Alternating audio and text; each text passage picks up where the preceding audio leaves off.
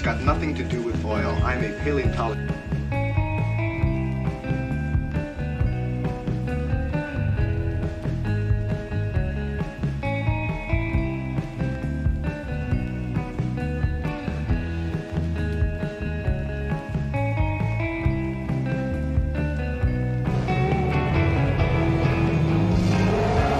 Three historic horrors. What's all this archaic anatomy?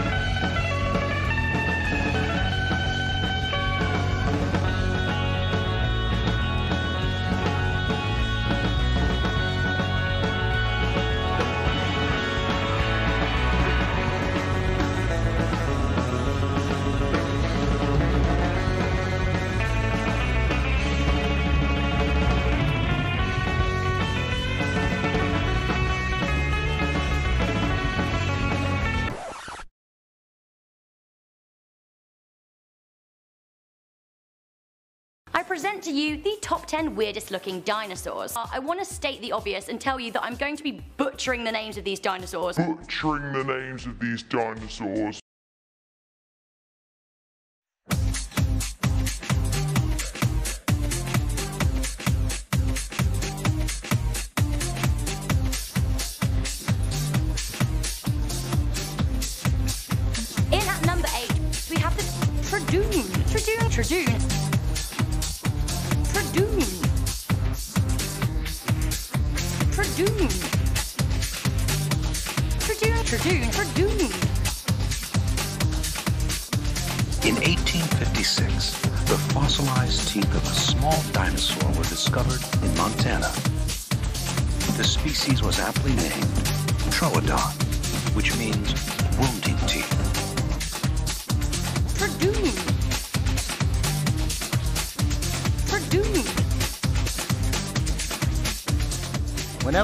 Passed out the stealth gene, Troodons lucked out.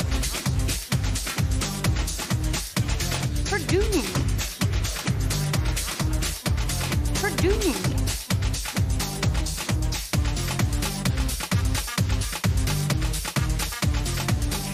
This drawer contains almost all of the North American identified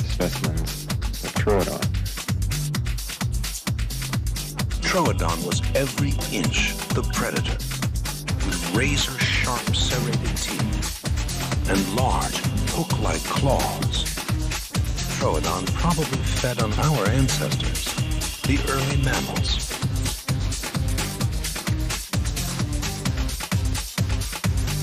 Troodon may have posed a greater threat to mammals than any other predator on Earth.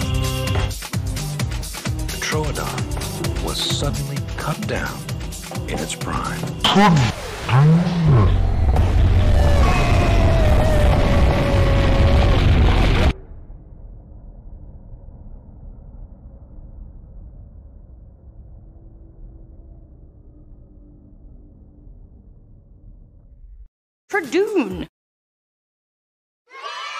Well, hello, hello, everybody. And welcome back to Paleontologizing. Thank you for joining us. Happy Monday to everybody watching right now, live or whatever time it may happen to be. Whether you're watching live right now, maybe from a different time zone than mine, or whether you're uh, watching in the future, either on the VOD on Twitch or maybe on YouTube. It's great to have you here. Welcome to Paleontologizing. We're gonna have a fun stream. Now, if it's uh, if it's anybody's very first time, then allow me to introduce myself real quick. My name is Danny Anduza, and I'm a dinosaur paleontologist, as you could probably guess. Looking at my office here, I work on dinosaurs. I dig up dinosaurs with various museums across the American West.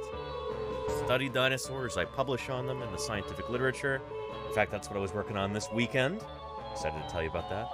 And uh, yeah, nowadays I talk about dinosaurs five days a week, right here on Twitch. So uh, if you've got questions about dinosaurs, and honestly, who doesn't have questions about dinosaurs? Or about other subjects in natural history? Extinction, evolution, maybe more broadly, questions about the philosophy of science itself? Whatever. Don't be shy with those questions. I'm here to answer them for you, and uh, we're going to be doing a great deal of that today, because in among various dinosaur deep dives which occur and stuff like that, we're going to be taking a look at a YouTube video that I found the other day. One of these kind of clickbaity, you know, purport to be experts in science kind of deals. It's there's a lot to unpack in it though. I think it's going to be a great springboard for discussion, and uh, we're going to be dissecting it a bit, you know, and talking about the real science behind it. Because, man, I saw like maybe 30 seconds, and there were a lot of a lot of things that were stated in there which were not true. So it should be fun. It's gonna be kind of a low key stream today, pretty laid back. But uh, I'm so glad you're here, and let me know if you've got any questions. Yeah. All right, before we get to our video, though, I'm going to scroll up to the top of chat. And I'm going to say hello to everybody. And we've had so many messages. I'm already missing the top of chat. It's already expired. But let me just go through real quick. Claire Burr, it's so good to have you back. Welcome, welcome, Claire. I feel like you were gone for a good while. We all missed you. I hope you're doing well. And Matt M33. Almost Yeah. Oh, wow, Matt M33. Yes, 28 months. Almost two years, almost one year, almost 28. I'm not a mathematician. But I am grateful for your support, Matt M33. Thank you for keeping me here on the air for the past 28 months. Through your financial support, your subscription there. You know, anybody can watch for free, but it takes a special kind of person to subscribe and thus support Science Outreach on Twitch, and I appreciate you for that, Matt. Thank you, thank you. Happy Monday. How are you doing? All right, Claire Burr is back. Claire Burr, was your did your power go out or something? I was talking with Lordy. She hadn't seen you in a while too. She thought maybe you had a power outage. She was a little bit worried, but uh, glad I'm glad to see you back. Dinosaur Man. Kaya in the sky. Two months of Prime sub there from Kaya in the sky. Thank you, thank you for your support. That means a lot to me. It really does. Thank you, thank you, Kaya. Holy cow.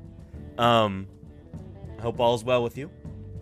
I know you only get one of those primes per month. Thank you for spending it here.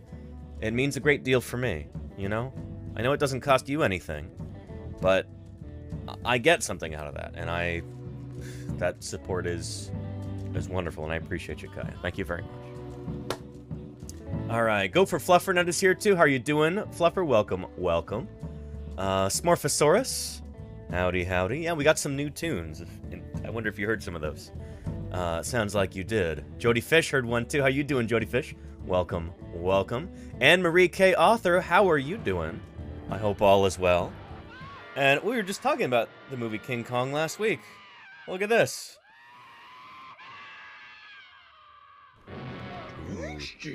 Holy cow, Clearly. Thank you for the 12 months of support. Thank you very much for the 100. Really appreciate that, Clearly. Thank you, thank you. And thank you, Science Streams. You make me blush. Valent, I hope you had a great weekend. Hope you and Lita and the baby and the cats are all doing well. Um, thank you, thank you, Valent, for those 100 bits. Yeah. You'd be proud of me, Valent. I worked on my manuscript for like all of Saturday, my Spinosaur manuscript. It's getting there. It's getting there. Thanks for the content. And Parker Zilla, thank you for the 300 bits. Wow, I really appreciate your generosity there. Thank you for your support. That means a lot to me. It does. Thank you, thank you. Yeah. Uh, who else we got? Rob Sui. How's it going, Rob Sui? Welcome, welcome. Give them Nell. Glad you're back, Nell. It's good to see you. Uh, who else have we got? Golganek. Ah. Uh, and Golganek. Did you have a power outage too? Shoot, Golganek. I'm sorry to hear that, but I hope you're doing well. Always lovely to see you, Golganek. And Cephalon Wolf uh, asked, "What's the difference between a poorly dressed man on a tricycle and a well-dressed man on a bicycle?" With A tire. and gratitude. go, Thank you very much for the 100 bits. And thank you for those bits, Travel the World. I did have a good weekend. I had a very good weekend, Travel. Thank you for asking. I hope you did too. And you know what, Travel? I just installed the new nozzle on the 3D printer. Um, we're going to give that a spin today. I've got a good feeling about it. So, yeah. Yeah. Anyway, thank you for your ongoing support, Travel. It really does mean a lot to me. Uh, Smorphosaurus, what's shaking with you? Great to see you, Smorph. Procyon MFC, how you doing, Procyon? Uh, Hike the Earth, howdy, howdy. Glad you could make it. And Eddie Scarin, how are you doing, Eddie Scarin? What's shaking? Yeah. Uh, who else do we have got? Vampire says, "Hey everyone, hey to you, Vampire. Welcome, welcome." Blinkster says, "I am ready. I'm glad you are. I am too. It's good to have you." Uh, MS Coggins, how are you doing? Happy Monday to you. Hope you're having a good day so far. Um, and you worked 53 plus hours last night. There's not even that many hours in a night, Lenina. You're bending space and time, evidently, and that's amazing. Holy cow! I hope you're resting, Lenina. Uh, just finished day eight out of 12 of work. I'm. What's that emote? I'm sword and a stone. Oh, that's a skull. Ooh. Lenina, I hope you're resting. It's it's good to see you, Lenina. Yeah. Welcome back, by the way. We missed you during your business trip. I'm glad you've uh, glad you've returned. Um, I hope it was fun. Well, as much as work can be fun. Uh, let's see who else we got. Space Isaac. Hey, hey, hey to you, Space Isaac. Welcome, welcome. Uh, Mitch Biocannon. How are you doing? Welcome back. Yeah. And, uh, let's see. Who else do we have here? Undisclosed Space Frog. Uh, making my way down through chat, trying to say hello to everybody. Don't want to miss anyone, but probably miss somebody. Gianmi, not missing you. I'm glad you're here. Welcome, Gianmi. Uh, and progress on Baryonyx was made well, I hope. It was Jody Fish, yes, indeed. Holy cow. Um, yes, yes, yes. Yeah. I can't discuss much of it right now, but, uh, you know, it's now in the hands of my co-author, who's going to be making some revisions and additions. I just have a few more bits of text that I might want to alter and maybe write some figure captions, and then make the figures. Still have to do the illustrations for it. But, yeah, I'm going to have this thing submitted before I leave for the summer, which is going to be awesome. Uh, who else do we have?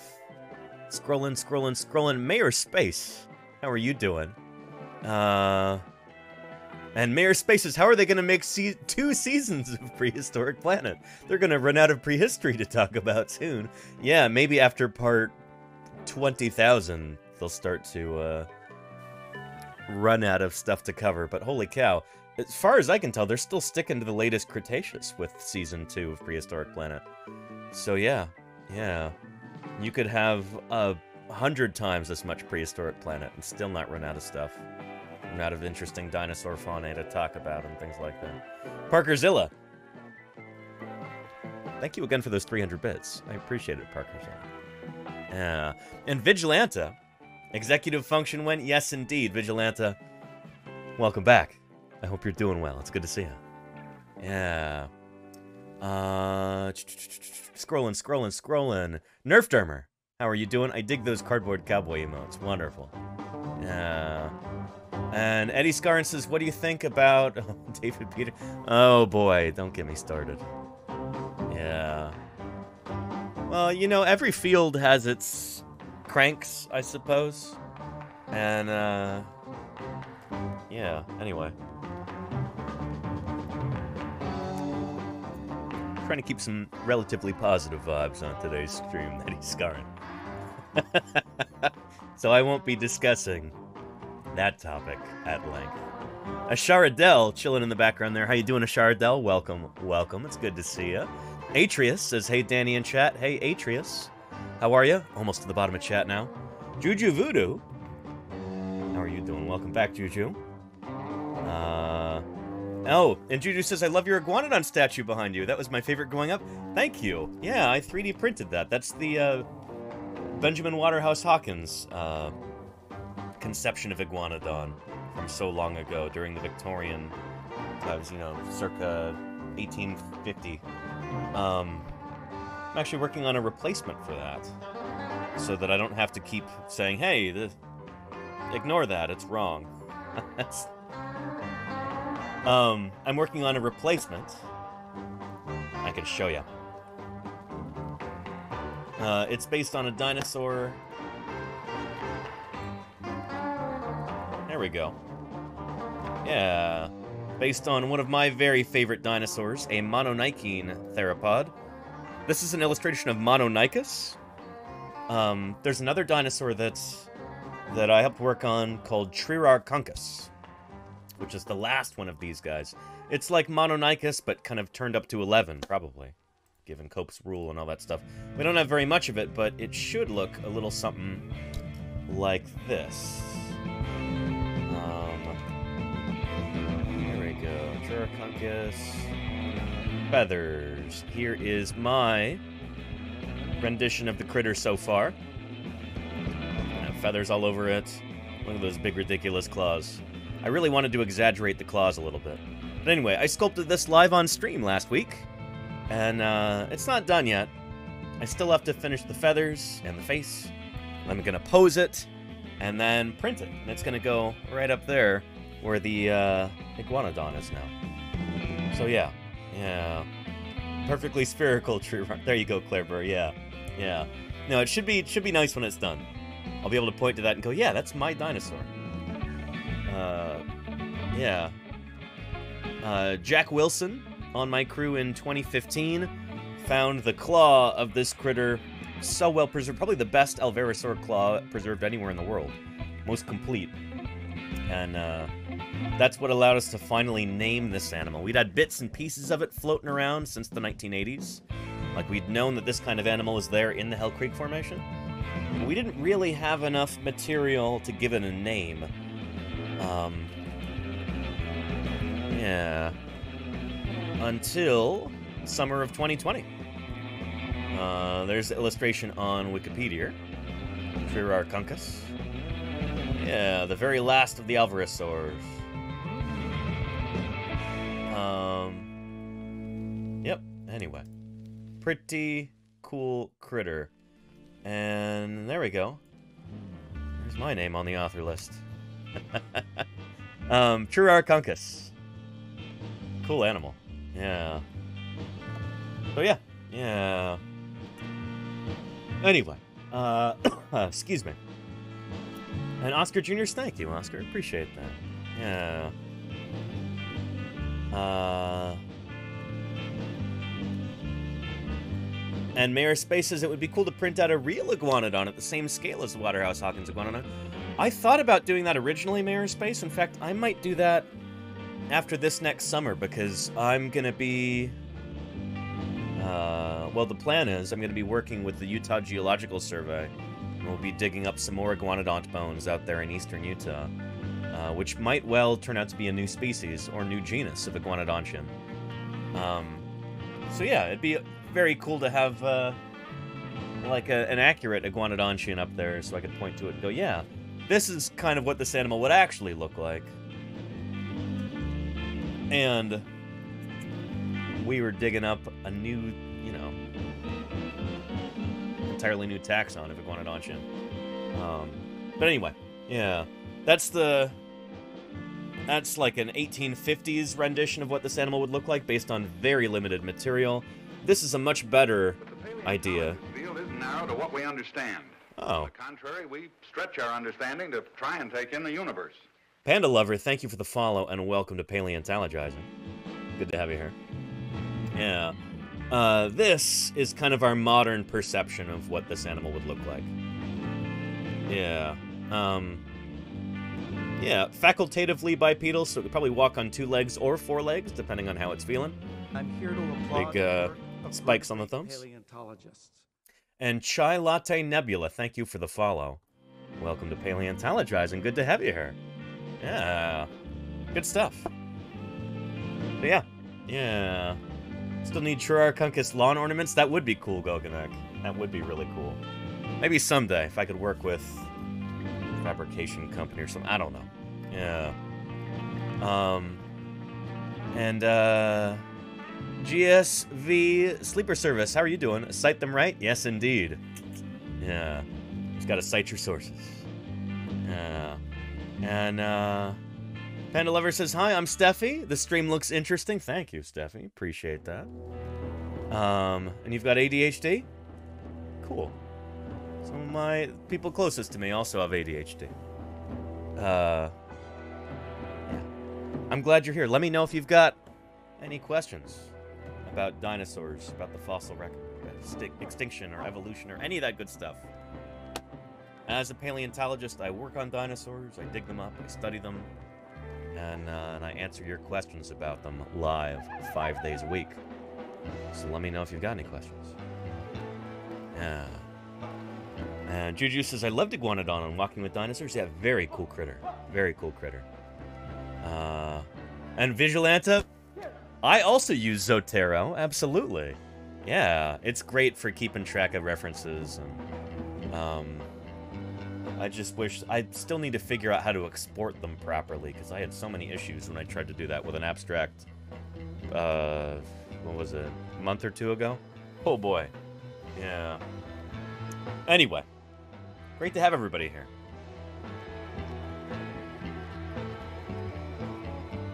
Thank you, Blankster, for the hydrate.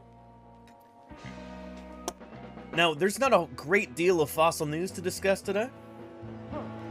I figured, in my various browsings and stumblings upon different things this weekend, you know, I, I happened across a uh, a YouTube video from an up and coming channel called Space Matters, or maybe Space Matters. Anyway, um, yeah, just posted two weeks ago and it's entitled "What Happened with Dinosaurs During the Cretaceous Period," which is a a, huge question. I mean, holy cow! We're gonna see if this video kind of, well, yeah, this is a huge topic. It's a long video, 30 minutes, um, just a few seconds short, actually, of 31 minutes long. We're gonna be looking at this video, and. uh you know, I thought about creating like a counter that would show up on the screen. So like every time they get something wrong, I'd push a button and it'd go like ding and it would add to the counter. Like an inaccuracies tally. But I thought, you know, I don't that's not really the vibe that we should be going for here. You know? I think sometimes there can be kind of a even among like professional science communicators, sometimes there can be kind of a a very negative, sneering kind of like, well, that isn't accurate. Like, like, ew, gross. This is uh, ew. I don't know if that's always productive. You know. We're gonna watch this video. We're going to use it as a springboard for discussion about real fossil science. This is supposed to be fun, you know? So we're going to try and keep this mostly positive and mostly upbeat. And even if something really bothers me, I'm going to smile through it. But it is going to be fun. And I uh, hope you're excited. Yeah. You know exactly... Yeah, Vigilante. Yeah, yeah. I... It is never my intention here on paleontologizing to go like, "Mm, well, actually, mm, this would be this way because mm, uh, that I don't think that's. Sometimes people who are already interested in science find that amusing, and they can relate to that. But your average person, you know, is going to be put off by that. And I feel like sometimes we in the sciences forget this. So yeah, we're going to be looking at this kind of clickbaity video. And, uh, which uses a lot of stock footage. They might have a synthetic voice or something, too. I don't really remember. Found this a couple days ago. But, uh, anyway. Oh, and we had a dinosaur deep dive redeem. Well, shoot, we'll do that first, Lenina. Thank you. I'm sorry. Claire Burr has requested a dinosaur deep dive. And I think we even have a clip of this critter. Yeah.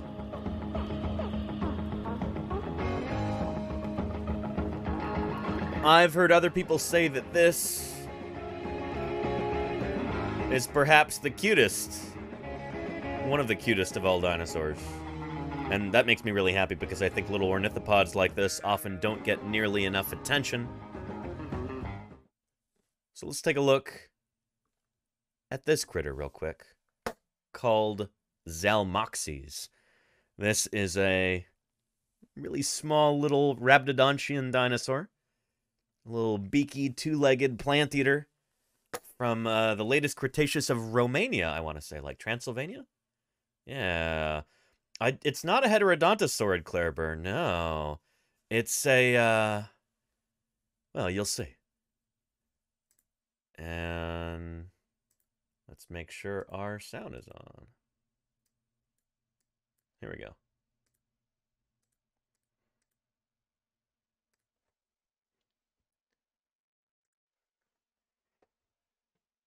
Zalmoxes. Yeah. Wait, is it? Are Rhabdodontians descended from Heterodontosaurs? We'll have to look this up. They could be. Anyway, take a look. They're very cute. Oh. Anyway, yeah, they're uh they're very very cute and I Hmm.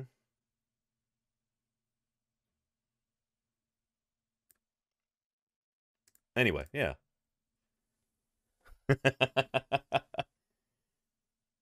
if you haven't seen Prehistoric Planet before, then uh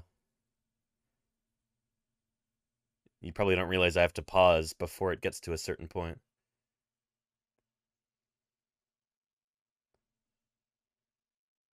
Oh. Yeah. Look at the little guys. Run, run, run. and then somebody does try to eat them. So, yeah. Anyway, I won't show you that because it almost seems disrespectful. Zalmoxes. There we go.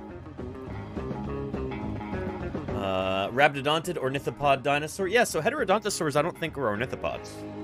I think they're like basal ornithischians. But anyway, yeah. Uh, complicated history there. First known as Mochlodon, then called Rhabdodon robustum, and then, uh, yeah, named as Zalmoxes robustus after that, given its own genus. Yeah, pretty cool. And look at that skull. It's got like a... Oh, man. The skull is so simple, it almost looks... sculpted. Like, it'd be nice if we actually had a better preserved skull than that. I bet you the original's all squashed flat. But, uh... Yeah, anyway. Very cool. And let's see here... Excuse me And maybe about eight feet long, full grown. Uh, we don't have very much material from it. Yeah. These guys are little ornithopods.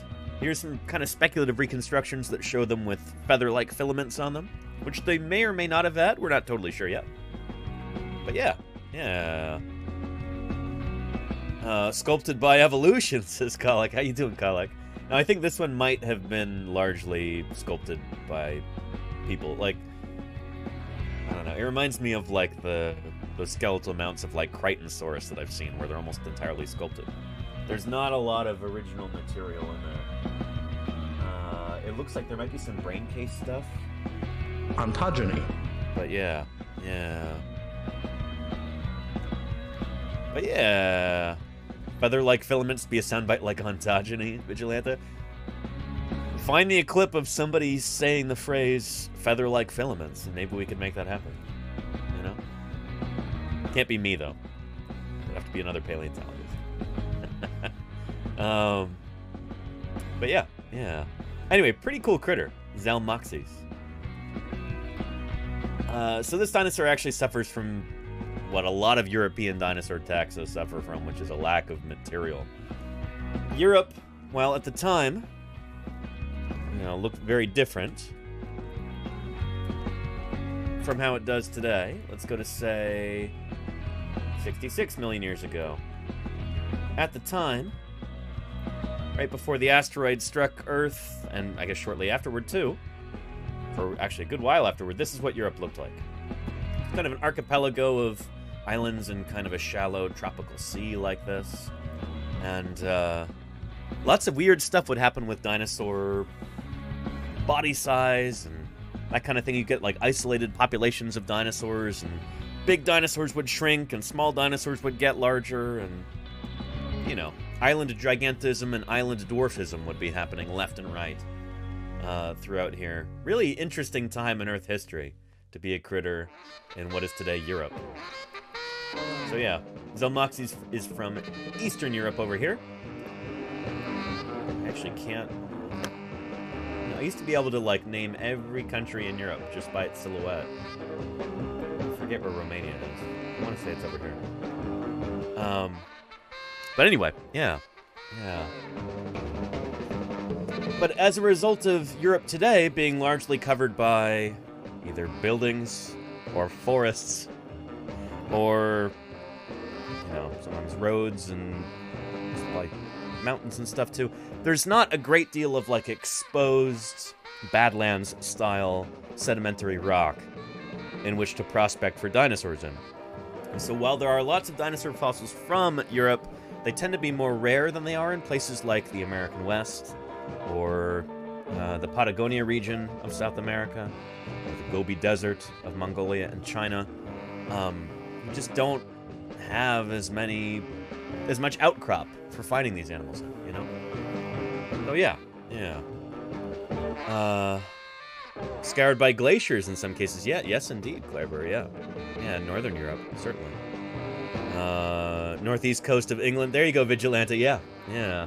There are I don't, I don't know about the northeast coast, but the south coast of England. Around Lyme Regis, also, out near the, the Isle of Wight, areas like that, there are a lot of Mesozoic era uh, rocks exposed, usually on the shoreline. Yeah. Um. So yeah, yeah. Anyway, uh, Northern English accent, Vigilante. Northern English accent is. Do people think that's grating? I don't. I think yeah. Northern English accent can be lovely.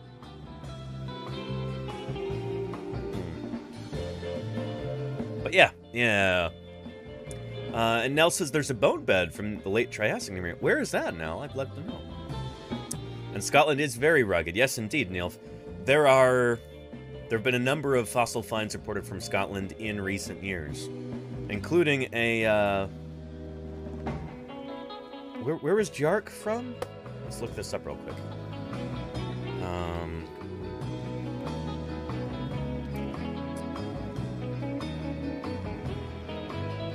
Dearc. There we go. Yeah. In the Middle Jurassic Lealt Shale Formation of Scotland. Yes, indeed. So these are pterosaurs, uh, flying reptiles that lived alongside the dinosaurs. Yeah, some of them got pretty big, which is cool. Oh, and you're in Cardiff. Oh, very cool now. Okay, nice. Yeah. And Ex Mariner says we're going to a They Might Be Giants concert tomorrow. Very cool, Ex Mariner. They have a song called I'm a Paleontologist. Really? Wow. Who would have thought that such a song could exist? Um. uh, it's not like, uh, not like I've played that song a million times before. Um, but yeah, yeah. And you see Dearc in there? Very nice paleo stream, yeah. Yeah. Uh, Dearc, I think, is the big... Uh, no, these are... Uh, never mind. These are different wingspan estimates for Dearc. And I hope I'm pronouncing that correctly. Uh, it is Gaelic that the name is derived from, correct? Uh... Jerk Skierhamach. Jerk Skierham. Jerk Skierhamach. Jerk Skierham. Jerk Skierhamach. Yeah, okay. Uh, it's Scottish Gaelic. Yes, indeed. Uh... uh, what a name. Excellent stuff. Yeah. So yeah, anywho. Cool critter. Cool critter. Um And no, Oliver, it's not like the lumberjack song from Monty Python. yeah. Um, Ex Mariner, I know that song well. The I'm a Paleontologist song. Uh, when we do ukulele time, you know, after a say a level five hype train, I usually play that song as it's kind of my warm up after the warm up. Yeah, classic song. Um, they might be trying to. They've got a bunch of uh, of good science songs. And uh, anyway, yeah, yeah, good stuff. Uh, but yeah, yeah. And Sparhawk got a long message here. Let's see. Uh, Major Gaming Bar earlier. Thinking of nominating you to be on the main screens to 400 pub goers. That sounds like a big pub there, Sparhawk. Holy cow. How would I feel about that in the future? It'd be lovely. Yeah. Thank you very much for the 100 bits. Thank you, Ex Mariner, for those 100 bits. Really appreciate that. Thank you, thank you. Yeah. Uh, if I was to nominate you for the main screens one evening, people might even get a thrill of watching a real life paleontologist. If not, that is cool. Well, I appreciate you asking permission, and I say go for it, Sparhawk. I'm flattered that you would think of me. Holy cow. And if people wanted to, you know, I guess if you're at a pub, you might still have your phone with you. If people want to type in questions or something, I'd be more than happy to interface with them. You know, say hello to all the good pub goers and answer their questions about, uh, about fossils, dinosaurs in particular, since that's my wheelhouse of uh, of research. Yeah. Um. Appreciate you asking, Sparhawk. Yeah. Yeah. Uh. Iconic song. What an iconic song right there. Holy cow. Thank you, Iconic Song, for the four months of support. I really appreciate that. It's almost a third of a year, isn't it? It's not funny if I get it right. Um. Anyway, Iconic Song, thank you for keeping me here online for the past four months. I really appreciate your support. It really does mean a lot to me. And you're making a difference for science outreach, so I appreciate you. Uh, Kalex says, uh, we get 13 different Patagonian dinosaurs coming to my local museum in a couple weeks. Very cool. I think, did I see an advertisement for that somewhere on Twitter? Not an advertisement, advertisement. Um, yeah. Honestly, the only Twitter ads I've seen recently have been like Instagram scam products and stuff. It's been really lousy. No, this is like uh I saw like a flyer that somebody posted for it maybe. Um but very cool. Might also run into Dinosaur Dave as well. Very neat, Kolek. Very, very cool. Yeah. That's awesome. And uh and building a bookcase, very nice now. That could be quite the undertaking. I remember building these. That was uh was quite the endeavor. I thought I'd get them done in like a couple hours. Took longer than that. I almost ended up missing stream that time. So yeah. Yeah. Uh, and Ragnarocker says, How accurate is the Jurassic World Quetzalcoatlus? Uh, oh boy. So I'm here. I should preface this by saying that I'm not a pterosaur worker. I don't work on pterosaurs. I think the Quetzalcoatlus in Jurassic World was way too big. Like way too big. It was like as big as an airplane, like a like an old Soviet cargo airplane. Um, let's see.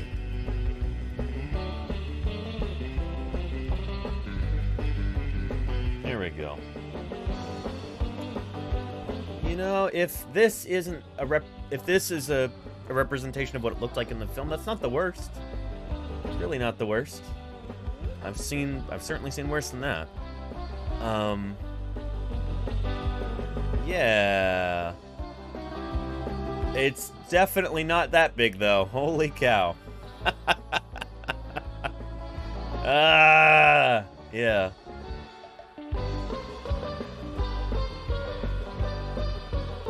Yeah, so there we go. You know, this this will give you a pretty decent idea. So it's this big in the movie between the gray and the brown. This is how big it would actually be in life between the green and the blue. So yeah, it's way too big for one. And they probably make it too thick too. A lot of Jurassic World dinosaurs are kind of too beefy. Like I don't know. A pterosaur like this I don't know. At least it's a big improvement over this. from uh, 1993. But back then, we didn't know all that much about these animals anyway, so... I don't know, maybe you could make up some kind of excuse for them. But, uh, anyway, yeah, that's, uh, that's too big. Too big. Like, way too big. These were big animals, though.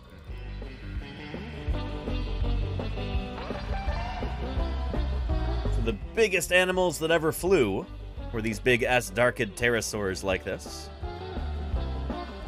Or at least we think Azhdarchid pterosaurs are probably the biggest of the pterosaurs. That's life-size, by the or that's, you know, that's proportional to that man there.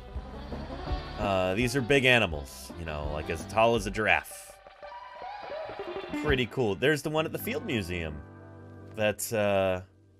There were two of these life-size models that I encountered last summer. And, uh, and streams next to.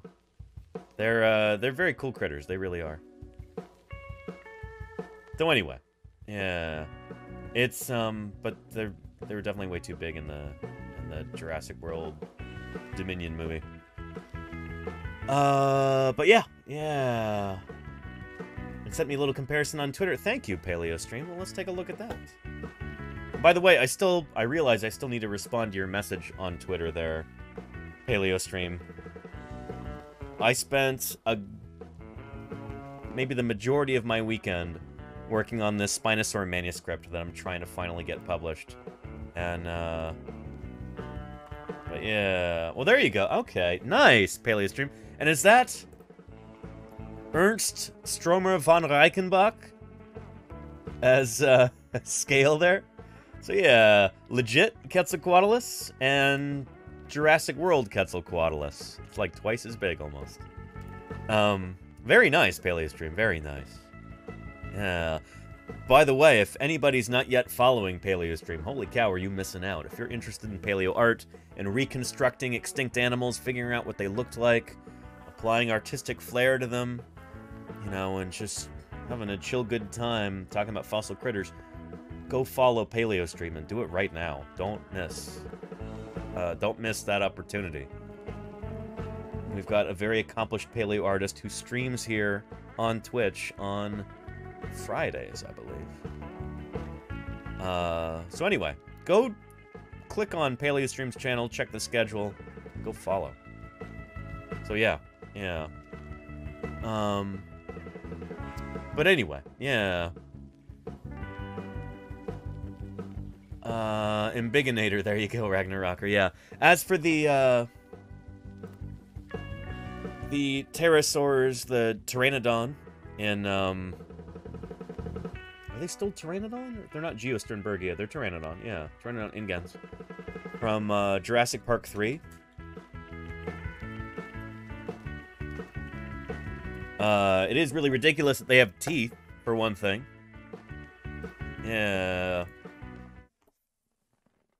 Um... I also think that the, uh, the... You know, I'm not too clear on how the, the forelimbs work on these guys. But this might not be correct. Yeah.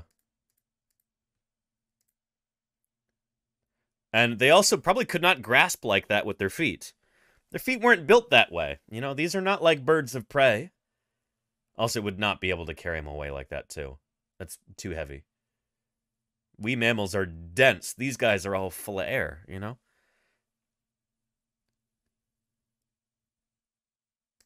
So anyway, yeah, but the fact that they have teeth, which you see...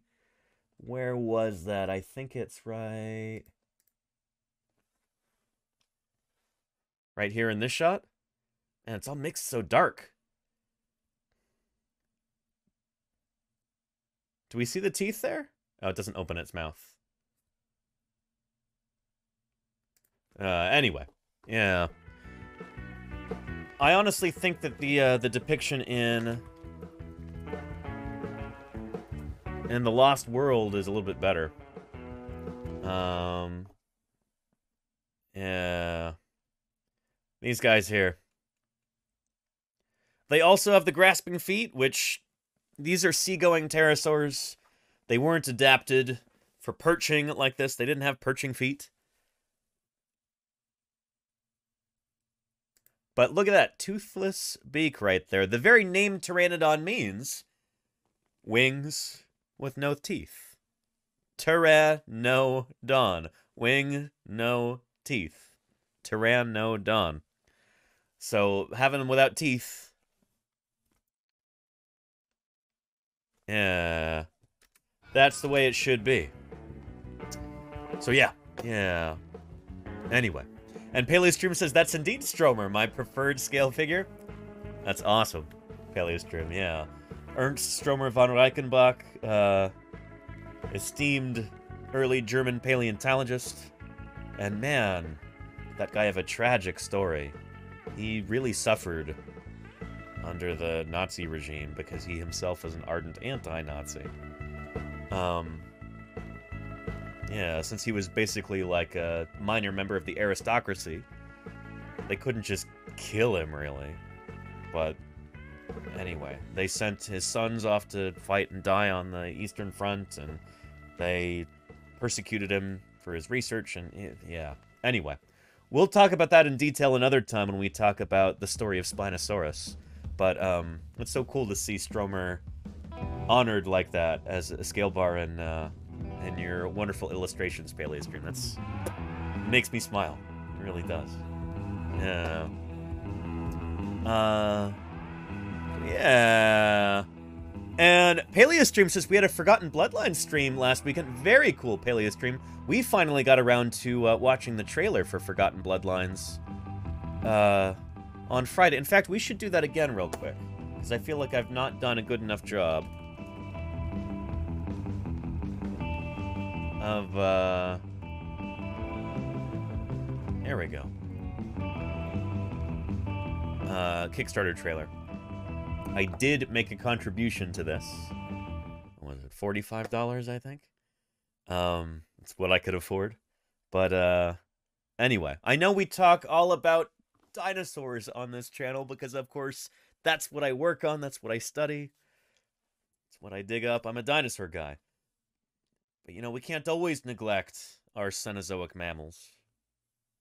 And so, uh, take a look at this. This is basically this uh, crowd-funded project called Forgotten Bloodlines. This, the intention here is to basically be like a Miocene age prehistoric planet, like a nature documentary style show about Miocene mammals like entelodonts and chalicotheres. Take a look. 20 million years ago, the beginning of the Miocene epoch. Very Although cool. seemingly familiar, this is a world of wonder, mystery, and danger. Uh-oh.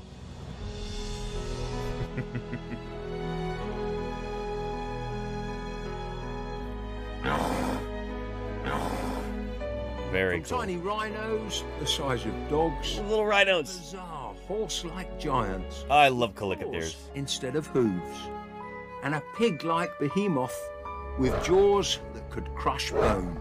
Very a cool. forgotten to time, never seen by the eyes of man until now. Very neat.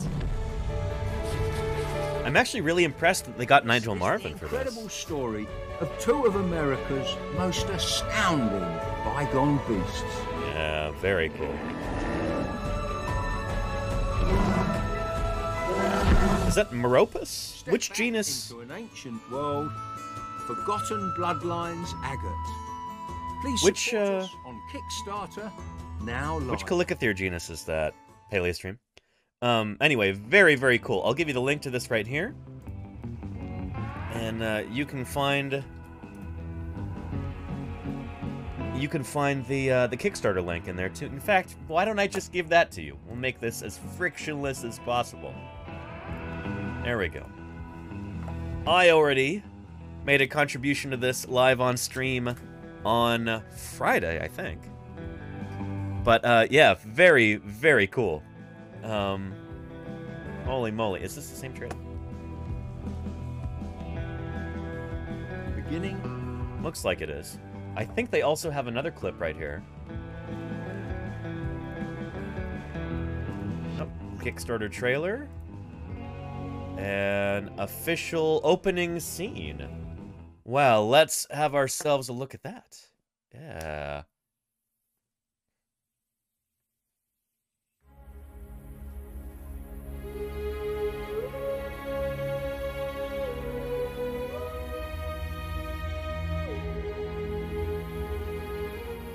This is Agate Springs, 20 million years ago, the beginning of the Miocene epoch. Is that Agate Springs, Nebraska? Yeah. One day Nebraska. become the Badlands of Nebraska.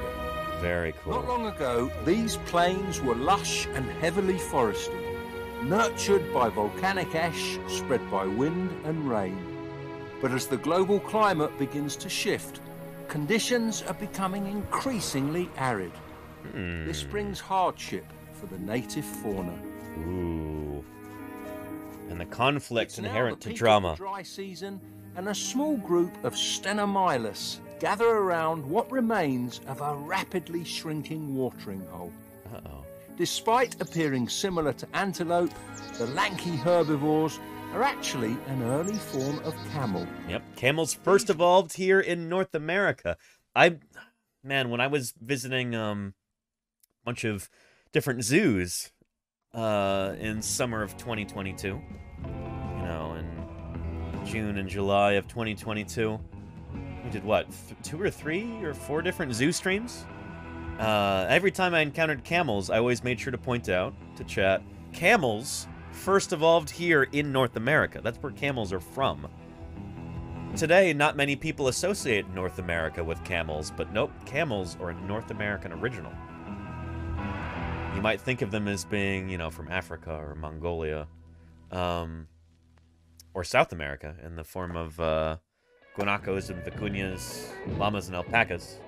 But indeed, camels originally evolved in North America. Watering hole. Yeah. Despite appearing similar to antelope, the lanky herbivores are actually an early form of camel. Yeah, very These cool. relict puddles provide a lifeline for all manner of animals. There you Vigilante. Yeah. This also makes them an ideal hunting ground for predators. Daeodon, one of the few animals that benefits from the harsh conditions of the dry spell. This Oh, yeah, individual is opportunist. a young male, only having recently left the care of his mother. But he's already a formidable hunter. What a ridiculous animal, by the way. So I, man, I remember showing this, showing Entelodonts to Twitch chat, maybe like a year ago, and people kept saying, "Oh yeah, it looks like this creature from, uh, from Lord of the Rings." And I, I don't remember what it was called, but people were quite insistent on that. Um, but yeah, yeah. Uh, people are saying warg. Okay. Warg, who's not the Klingon character from Star Trek. That's Worf. Yeah. anyway, yeah. Nor is it a tar. What's it? Oh, we're not going to get all hung up on pop culture stuff right now. Anyway, I just want to point out what a rid- ridiculously weird animal this is. So they are related to pigs. They sometimes get referred to as hell pigs. And I think I might have a um is it here? Well shoot, there's one on the uh the back cover of Cruising the Fossil Freeway with art by Ray Troll. Right here. There we go. But he's got a lovely like folk art style illustration. Uh let's see, it would look really good on like the back of a motorcycle jacket or something. Hell pigs. Uh, these guys aren't strictly speaking pigs per se, but they are related to even toed ungulates like that, especially pigs. I think pigs might be their closest living relatives. Although I could very well be wrong about that. Um, oh, yeah, there we go. Ha ha ha. Yeah. Here is. And take a look at that. I think this is supposed to be Entelodon, which is a kind of Entelodont. There's one next to some Uintatheres or Brontotheres. And, uh... There we go. Archaeotherium. Which, na- whose name means ancient beast, hell pig. Archaeotherium. It'd look great as a patch on the back of a motorcycle jacket. It really would, you know? That'd be a great name for a motorcycle gang.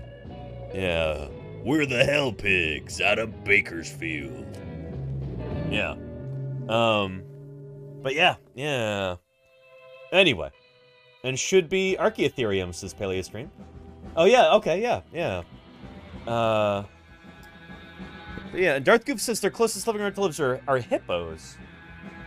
I guess that makes sense. Hippos are also um, even-toed ungulates, um, artiodactyls, right?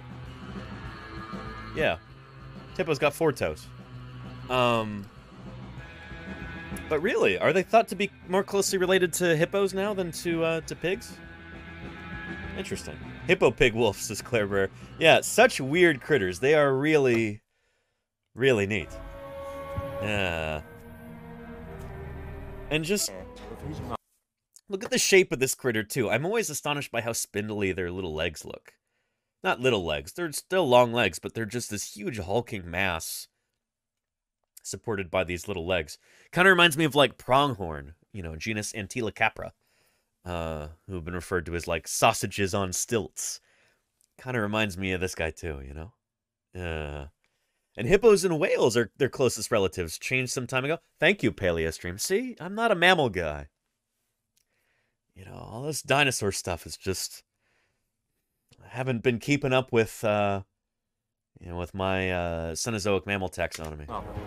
But he's Yeah. already a formidable hunter. Look at that. Beautiful work here. Holy cow. Heat and focused on water, the Stenomylus should be easy prey. Uh-oh.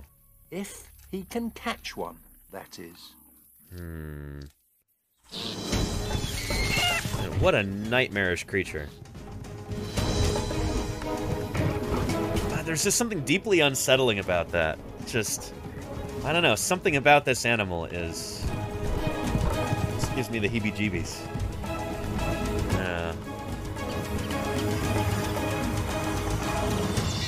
But it seems even a weakened camel can outrun a Daeodon in a straight chase. Yeah, you got those little spindly legs. Every ten hunts is likely to be successful. His Uh, hunger will drive him to Hopefully, one out of one Kickstarters here will be successful. That's partly up to you, chat, if you'd like to contribute to this project. Yeah. try again.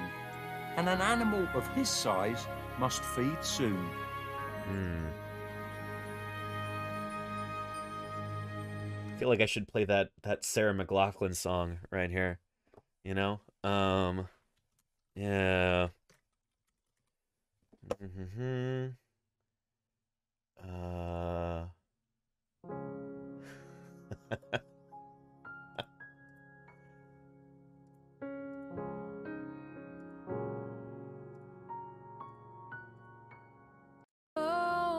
There we go. Distraction. Oh, beautiful release. Memories seep through my veins. For just a few dollars, you can be a hero for these Miocene mammals. And maybe I'll find some peace tonight. Uh, extinction doesn't have to be the end.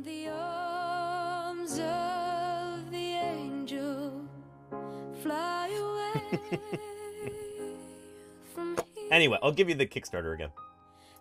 Um, what a cool project. cold hotel room, There we go. and the Yeah. endlessness that you fear. There we go. You You can help this entelodont live again with a small donation. Uh, anyway. Um, very, very cool stuff. And, uh, a Nightbot command for that? Uh, we'll see, Claire. We'll see. I've got so many Nightbot commands nowadays.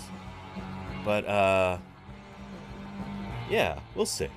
We'll see. Let me think about that. I'll see how the Kickstarter is doing and everything. If I feel like they really, really need some more attention, I'll do my best to get it. But yeah. And Juju Voodoo says, have you seen the YouTube channel Nature's Compendium? Uh, I don't know if I've ever actually watched any of their videos, but Nature's Compendium hangs out here in chat, Juju Voodoo. Yeah. Um, yeah, they seem cool. Uh, they're always asking good questions and stuff, and uh, they're a cool part of this community. So yeah, yeah. Anyway, uh, but yeah, thank you, Lenina.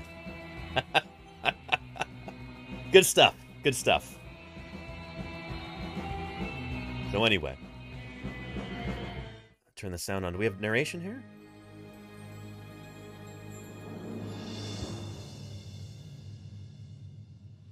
Yeah, follow our pre-launch page on Kickstarter. Very, very cool. Yeah. Really neat. So yeah, yeah.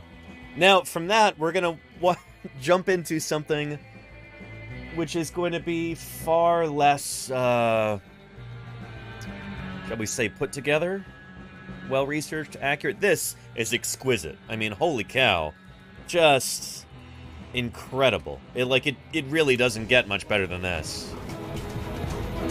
Yeah, holy cow. We're gonna jump from that into a kind of random semi-clickbaity video on dinosaurs and again the point of this is not to be all sneering and go well actually this is inaccurate Rah, rah, rah." that's not our intention here our intention here is to use this as a jumping off point for talking about dinosaurs of the cretaceous and uh i'm not going to be holding a a tally of you know the number of inaccuracies or anything like that. It's cool that somebody put effort into making this video here from this channel called Space Matters. Um but yeah. Yeah. Sometimes as somebody who does science outreach full time, I think it's important to kind of you know keep my finger on the pulse of uh dinosaur science content places like YouTube. This is a means of doing that.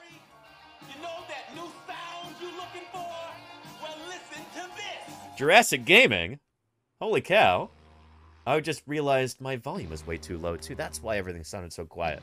Jurassic Gaming, thank you so much. Gaming has a new sound for their three listeners. Really appreciate that, Jurassic Gaming. Welcome back to Paleontologizing. How are you doing? I hope things are good. Welcome, Raiders. Let me know if you've got any questions. All right, without further ado, let's jump into this, you know? Yeah. Uh, good stuff. The Cretaceous period Whoop. And uh a A.K. Durrani says I've been doing a lot of reading on prehistoric camel species. Very cool, K. Durrani. Wait, were you did you just come in with the raid? Because we were just talking about ancient camels. Right here. I mean, shoot, here's some of them. Yeah. Oh, that's so much louder now. Shoot. Run, camels, run! Yeah, you just came in? Are you are you aware of this? Hey, K. Durrani? This is a documentary that's seeking funding right now. Can outrun a daeodon in a straight chase. Only Yeah. one out of every ten hunts is likely to be successful. His hunger will drive him to try again, and an animal of his size must feed soon. You know what? We should have a, a command, Claire. if you wouldn't mind helping put together a, a Nightbot command for this, Claire, it would be, uh, I think that would be helpful. Yeah, right now they're trying to fund this on Kickstarter. It's really, really cool project. And, uh, there we go. They are roughly halfway to their goal.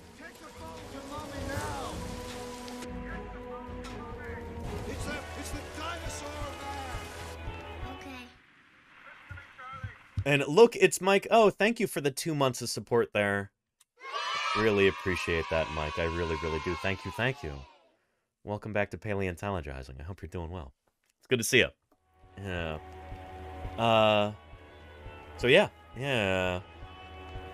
Anyway, very very cool, independently produced documentary they're working on, and they're seeking funding for it.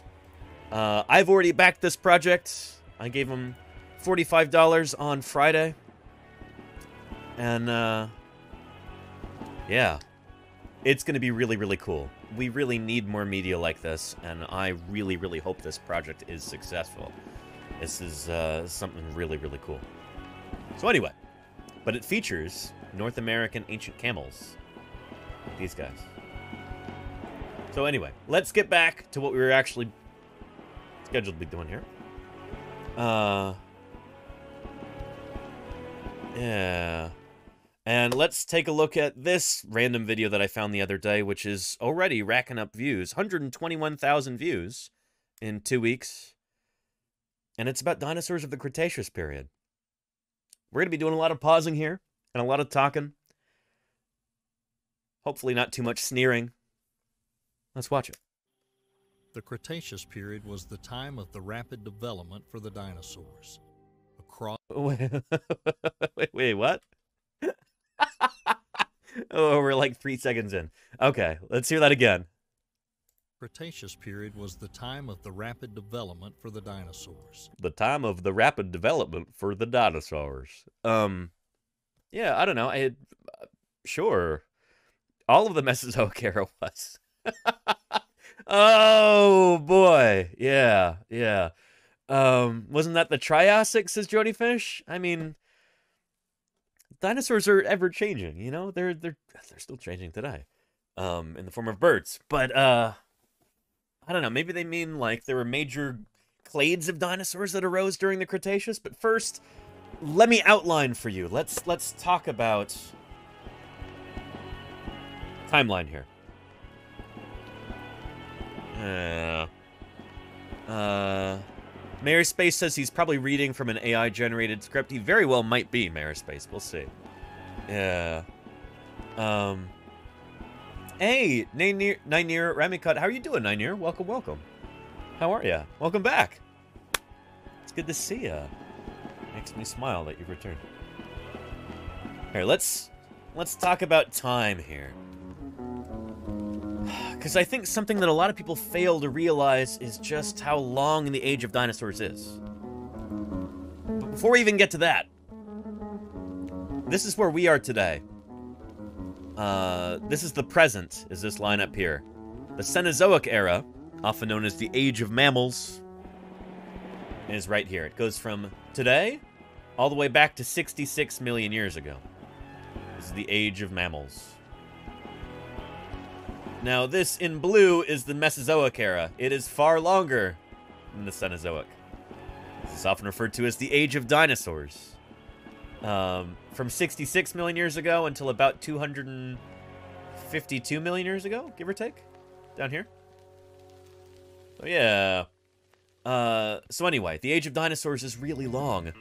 Dinosaurs first evolved probably about here, probably about 240 million years ago like the middle Triassic. Although maybe it was the beginning of the upper Triassic. It's funny, the Triassic is like very unevenly split. The lower, and then the middle, and then the upper is like the four-fifths of it. Um, anyway, but dinosaurs first show up about 240 million years ago, as far as we can tell. We haven't found the earliest one yet, but we found ones close to that, and they're approaching this age here. Anyway, the Cretaceous period is what this video is about. The Cretaceous period goes from 145 million years ago. 40 full-time dinosaur paleontologists. George from New York, holy cow. Thank you so much, George. I really appreciate that. Are leading this expedition. Holy cow. That is extraordinary, George. Thank you, thank you for your support. Thank you for supporting Science Outreach here on Twitch. Seriously. That means a great deal to me. Thank you, thank you. Look, we're now at 9 out of 50 for our goal today. Five of those were from George right there, so thank you, thank you, George. Holy cow. Appreciate you. Oh. How are you doing, George, by the way? Hope things are good. Hope you had a great weekend. It's great to have you back. Anyway, we're talking about the Cretaceous period here. So, most of the the dinosaurs that you've heard of, chat, most of the the most popular dinosaurs from pop culture are from the Cretaceous. So whether it's Tyrannosaurus or Velociraptor, Parasaurolophus or Ankylosaurus, Pachycephalosaurus, they're from the Cretaceous period. Same with Carnotaurus and yeah. Um, the Cretaceous people often say that's where dinosaurs have their uh, their peak diversity, and I suppose that's true in a certain sense. But yeah, anyway, it's interesting to note that the the Cretaceous period here is even longer than the entire Cenozoic era. The Cretaceous period is longer than the entire age of mammals. So when a video like this asks the question, what happened with dinosaurs during the Cretaceous period? It's like, uh, well, shoot, I don't know. Um, a lot, a lot happened. a whole lot happened. So let's get into it. Yeah. Yeah, yeah. And you're you're not feeling well, George? I'm so sorry to hear that. Well, shoot. I hope you're taking care of yourself. I hope you're resting up and uh again, thank you for your support, George. It um really does mean a lot to me. Uh hope you're drinking, you know, plenty of liquids. Hope you're uh you're getting some rest. You take care of yourself, George. Yeah.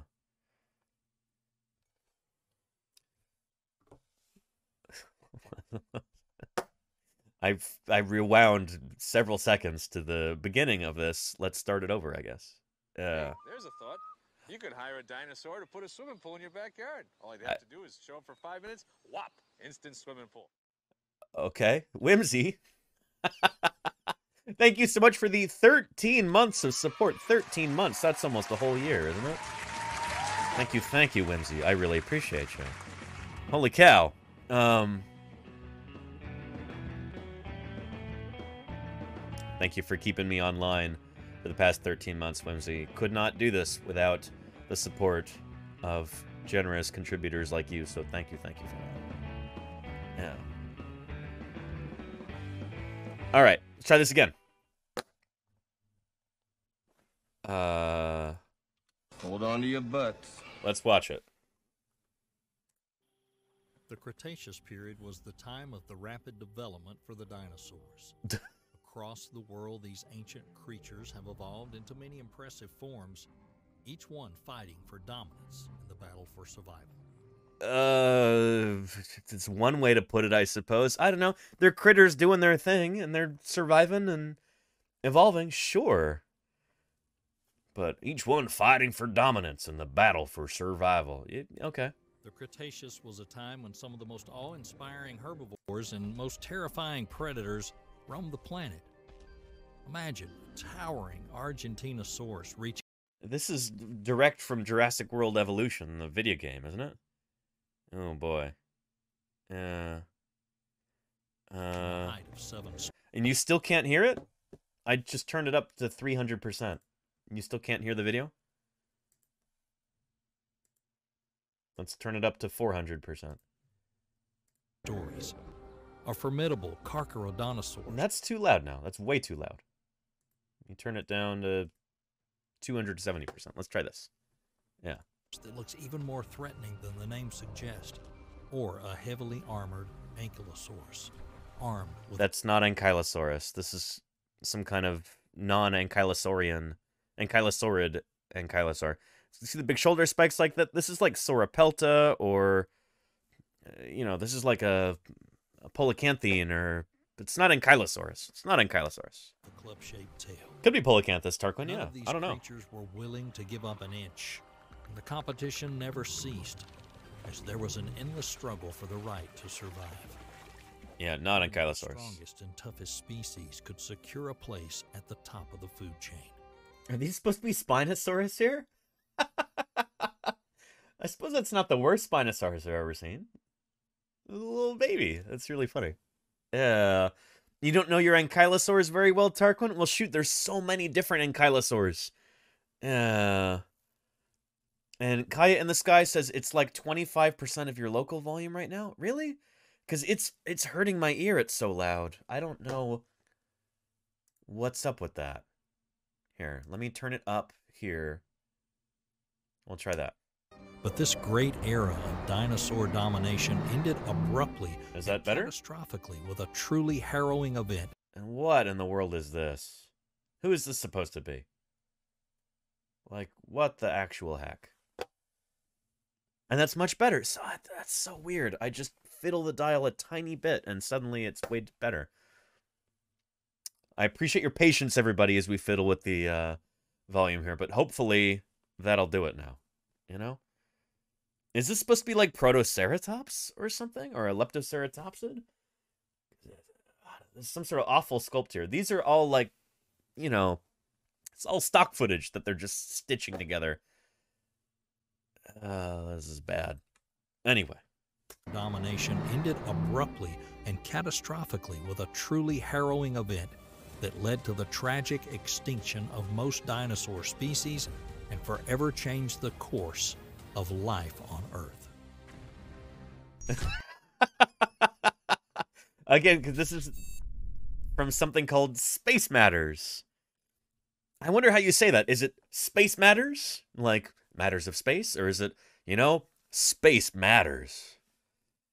Maybe it's both. I don't know.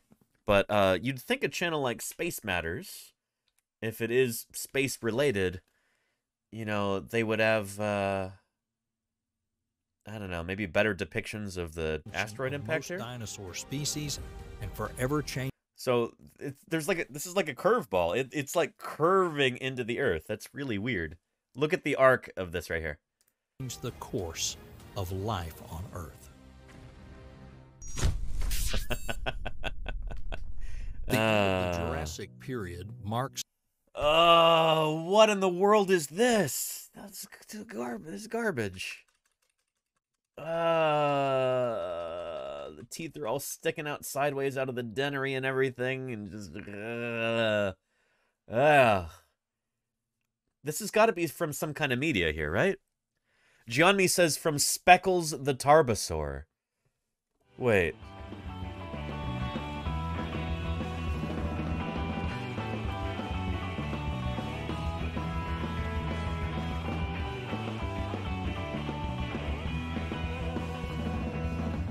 Oh, is this that, um... Is it Korean or, or Chinese? Speckles the Tarbosaurus. What the heck? Hmm...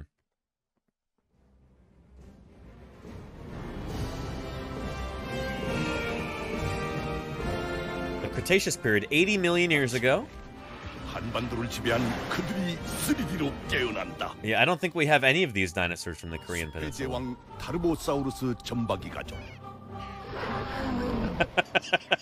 점박이 가족을 노리는 백구는 티라노사. Oh, we've got a Tyrannosaurus 80 million years ago and in Korea. So that's supposed to be. Oh boy. Oh boy. Uh. Okay, I guess that explains it. At least they didn't say 60. Well, it's it's further away, Tommy Plodicus. They said 80. Instead of 1 million year off, they were. Yeah, but, but anyway, staying positive here. Staying positive. Um, yeah, so Tyrannosaurus did not live in the Jurassic, so this is even wronger than Speckles the Tarbosaurus was. Tyrannosaurus is from the very, very end of the age of dinosaurs. So this actually. Here, it's a great time to talk about this. Uh, Tyrannosaurus lived here at the, the tail end of the Cretaceous period. So the Cretaceous is really long. Tyrannosaurus lived at the very end of it. The Hell Creek and the Lance and the Scollard formations of North America about 68 to 66 million years ago. The Jurassic is way down here, 145 million years ago. T-Rex is actually closer in time to you and me. than it is to the Jurassic period. That's how long the Age of Dinosaurs is, and how disparate Tyrannosaurus is from the Jurassic. Um, yeah. So, I don't know. There's, uh... Here. Uh... You've probably seen this before.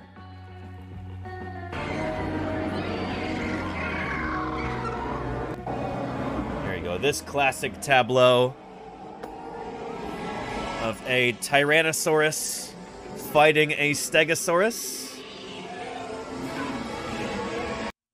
Who can tell me what's wrong with that? This is at Disneyland, of course, on the Disneyland Railroad. Me too, Tarquin. I'm right there with you, Tarquin. But this part is... It's pretty funny. Yeah. Yeah, Jody Fish says Stegosaurus was from the Jurassic. This is true. Yeah. They didn't live at the same time. Stegosaurus is Jurassic. Yes, indeed. Man, I, I love this community. You guys are great. Holy cow. You people are wonderful. It's true. Tyrannosaurus right here lived at the very end of the Cretaceous period. Stegosaurus lived at the end of the Jurassic, like 80 million years before. So there's 80 million years between them. 80 million years separating them. Tyrannosaurus is only separated from us by 66 million years. So, strictly speaking, or I don't know, if you want to want to get wild with it while still being, you know, chronologically accurate, I guess, I don't know. This at Disneyland would have been more accurate if the Tyrannosaurus were uh, were fighting with Abraham Lincoln from Great Moments with Mr. Lincoln rather than a Stegosaurus. That at least, you know, would have made more sense chronologically. There would have been less of a stretch between them time-wise. So yeah, yeah. Anyway.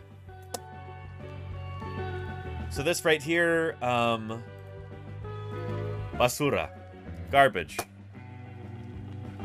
Uh, Tyrannosaurus is not from the Jurassic, and that's not even a good Tyrannosaurus. Uh, uh, we're a minute and 16 seconds into the video.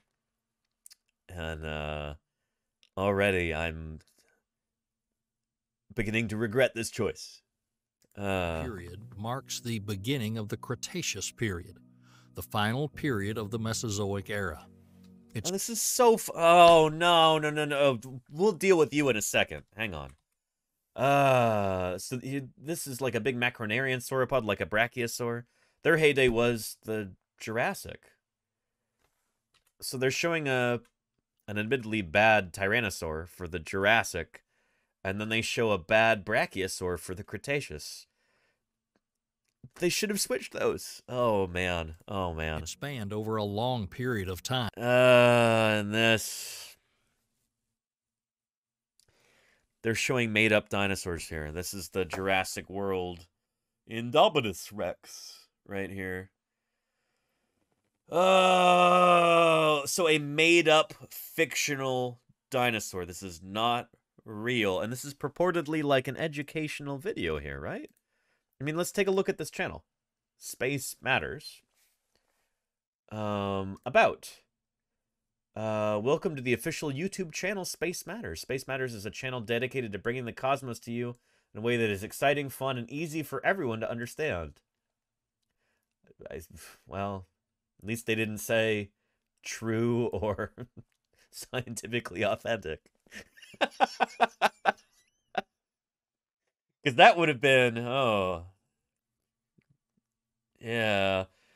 Uh, our goal is to become one of the most popular space science channels on YouTube among stargazers and astronomers alike. Oh boy. I mean, I, I I'm not an astronomer myself. I don't know a lot about space science that is outside of my field. I've never published a paper in an astronomy journal. I don't know if I've ever actually read a paper in an astronomy journal. No. I've read a few actually. But anyway. I I say that to state that I am a dinosaur paleontologist, you know? I work on dinosaurs. And so I can really only judge content that they do about dinosaurs with any degree of expertise. And so far, this is not. It's not. It's not great. It's not great. So yeah, yeah. Anyway, and Trappy Jenkins, how are you doing? Welcome, welcome. Yeah. Um. And Alta 4. Nope. That's not a Nirvana cover, although I do have Nirvana covers of Nirvana songs. But this is not from Nirvana. No, Alta 4. It's from a different, like, surf rock person. Anyway, yeah. Uh. uh, but oh, did Nirvana also cover uh, "The Man Who Sold the World"? I didn't know that. Cool. I suppose this could be a cover of Nirvana's cover of the song. But yeah, yeah, cool. Anyway. Uh, it is a great song, Altifor. It really is. We'll continue it later, but uh, yeah. Sephi says famously on MTV Live. Really, they covered it live. That's cool. It's a great song. Anyway, they're throwing in just made up fictional fake dinosaurs in here. Uh, Time from 145 to 65 million years ago. oh no, this video came out two weeks ago. This is also wrong. you know, I again, not not to be super nitpicky or or sneering about this, you know? Uh, I'm starting to wish I did have like a counter. So we could go, you know? Um, when we have stuff like this. Um, but yeah, like if this is purportedly a science YouTube channel, maybe they should consult some actual science, you know? Oh boy. Anyway, yeah, it's 66 million years ago. We've known this for a solid 10 years at this point, you know? I think it was When was that actually? Let's let's see. Maybe we'll we'll talk for a minute about how these dates are determined also. Um Yeah, Cretaceous Paleogene boundary. Here we go. Uh, its age is usually estimated at around 66 million years, with radiometric dating yielding a more precise age of 66.043 plus or minus 0.011 million years. So there you go. Uh, yep, and we've known about this for just approaching 10 years now. So for a decade, we've known about this. No, more than a decade now. February 8th, 2013. There you go. It's been over a decade that we've had those more precise dates, you know? So there's really no excuse for a science channel. If this were like, you know, uh, some, you know, Kim Kardashian channel about makeup tips or uh, insider trading or something like that. Whatever wealthy people do. Um, then it wouldn't really matter, you know. But they're purporting to be a science channel. You know, it's uh, it's not great. It's not great. Anyway, here's a link to this paper in the journal Science. Um, this is cool because Paul Renne, uh, who's the lead author on this, he's a geochronologist at UC Berkeley, just down the road from me here in the San Francisco Bay Area. And I've actually done field work with Paul Renne and his students out in the Hell Creek Formation. That was in 2014, I want to say. So it was like a year after they published this. But, uh, yeah, yeah. Um, and Tarquin says plus or minus 11,000 years. That's that's the timescales we're dealing with. That's that's precision. uh, when you're dealing with stuff that's tens of millions of years old, you know? Yeah. Anyway, let's get back to our video. Uh, so yeah, it's 66, not 65. We've got good dates now. We've had them for a decade at this point. There's no excuse for this. There's no excuse for this. Yeah. During this time, many different types of dinosaurs developed on our planet, including some of the largest and most iconic creatures to ever exist. True. As the Jurassic gave way to the Cretaceous, dominant fauna began to change and new groups of dinosaurs, such as the ceratopsians and theropods, grew to carry increasingly more importance. I mean, theropods were already. It's true. Ceratopsians did not really. They weren't really a thing yet in the Jurassic. Not really. You've got some very early, early critters that would, you know, like Chaoyangsaurus, I think. Uh. Yeah. Oh, shoot, what is. Or Yinlong, maybe? Uh. Yinlong might be a better example. And here we go. This is what your horned dinosaurs looked like during the Jurassic. They're just starting off, you know? Uh, look at those doofy little teeth. uh, see, horned dinosaurs, the ceratopsians, don't really show up until the Cretaceous. Uh, I think this might be the most basal ceratopsian, isn't it? The earliest ceratopsian that we have. Yeah.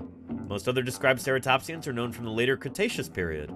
So this guy, with that skull like that, those doofy teeth. Um, yeah, this is what they looked like in the Jurassic. So this part is true. And that's a lousy Triceratops they have there, but it's true. Ceratopsians are very much a Cretaceous group. They're not really a thing yet in the Jurassic. I'm actually kind of impressed with this Dromaeosaur here. It could be a lot worse. Is this supposed to be like Austroraptor? Not too shabby. Anyway, theropods have been around since the Triassic, so saying, oh, theropods grew to be more important during the Cretaceous. It's like, well, they were already the only meat-eating dinosaurs. And theropods grew Uh, carry increasingly more importance. yeah, theropods were already there. They're there basically since the beginning. The Yeah. Cretaceous period is divided into two epochs, early Cretaceous and late Cretaceous. The early Cretaceous Hang on, what? Why do they have Archaeopteryx there? That's supposed to be Archaeopteryx, right? That's from the Jurassic. Oh boy. And Parasaurolophus is from the late Cretaceous. Uh, it's just like just randomly thrown in stock assets here. This presumably would have been an expensive video to produce because they're getting a lot of this footage from like you know, probably Getty Images or whatever stock footage purveyor they could find these things on, but all these things cost money. Like I almost kind of wonder whether this is whether this is like a corporate backed channel, you know? Um Yeah, yeah. Uh how many videos do they have so far? Oh boy. There's a whole bunch of clickbait. Life came out. How life started on. Oh no. Anyway, this is. I don't know. This feels like slapped together by some sort of corporate entity, and it's uh, kind of makes me sad, you know. Uh, epochs, early Cretaceous and late Cretaceous. The early Cretaceous period, which took place between 140 so I think this is supposed to be a pat. Oh no no no! This is some sort of titanosaur, isn't it? It's not a patasaurus. 45 and 100 Anyway. million years ago saw the diversification of dinosaurs and the emergence of new groups such as ornithopods and sauropods. No, no, what? What? Uh Neither of these were new groups during the These had both been around since the the Jurassic, the earliest Jurassic, right? Or ornithopods, well, I don't know. Ornithopods are like very much a Jurassic group. you know, they're there in the Cretaceous too, but they did not emerge during the Cretaceous. Also, that's a terrible Parasaurolophus. Just dog water. Garbage. And a terrible sauropod. Like, uh... Ah, this is wrong. This is wrong. So this group, ornithopods, they're already around during the Jurassic. Let's talk about them a little bit. Yeah, Ornithopoda. Yeah. Uh, clade of ornithischian dinosaurs. Where? Let's see. Description. Let's get into their origins as a group because they.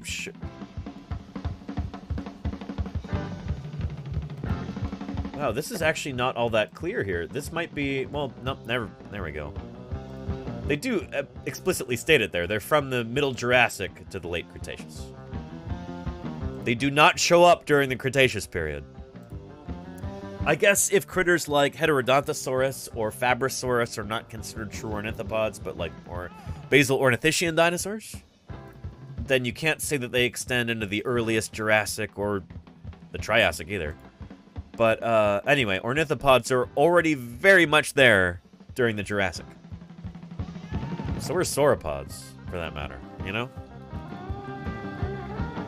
Yeah.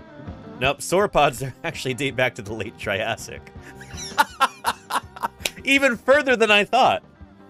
Ah, uh, yeah. Anyway. And Runelore says, have they managed a single sentence that hasn't been passed due to being inaccurate? I mean, yes, but I was being charitable there, Runelore. Oh, yeah. Yeah. Anyway. And uh, Ninir says Ninir wants to redeem a dinosaur deep dive. You hear me now? Let me know if you can hear me. Uh, uh, we're back? And you can hear me? Good. Okay, I'm sorry about that. It's just... Well, it's an OBS crash where the program, my broadcasting software, just froze up and, uh, yeah. Fatal error. Anyway, we're back. Thank you, everybody who didn't run away during that. Um, I wonder how many people did run away. I guess we'll see. But yeah, yeah. We are back in business, Gianme. Yes, indeed. Uh, so anywho, yeah. Uh, Ninir had a dinosaur deep dive requested on toe bones of ornithopods. Oh, Ninir, can you explain what you mean by that? Normally, a dinosaur deep dive, we do it on a specific, you know, on a genus of dinosaur, or sometimes a genus and species. But to just say like ornithopod pedal phalanx, like ornithopod toe bone. What do you mean by that? Yeah. Um. Anyway, yeah. Uh, lights occur. That's true, Lenina. That is definitely true. Yeah. Anyway, let's get back into our video.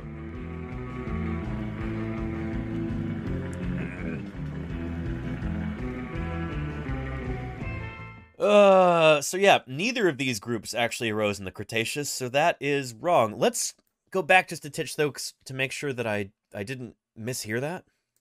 Let's see. And the emergence of new groups such as ornithopods and sauropods. Oh boy. And the emergence of new groups such as ornithopods and sauropods. So sauropods go back to the Triassic period, and ornithopods. Did that dude really say ornithopods? Oh boy. Yeah. Um uh, it's ornithopods. So not only is this completely wrong,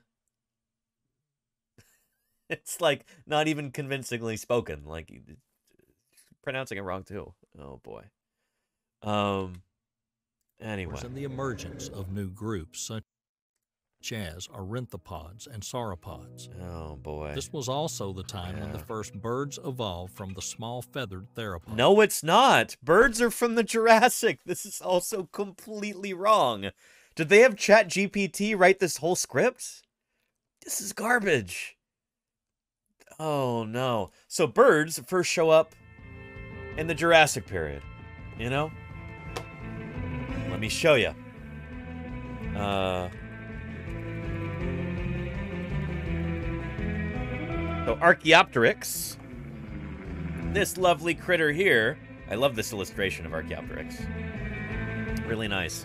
Archaeopteryx is from the Jurassic, famously from the late Jurassic period of Germany, Bavaria.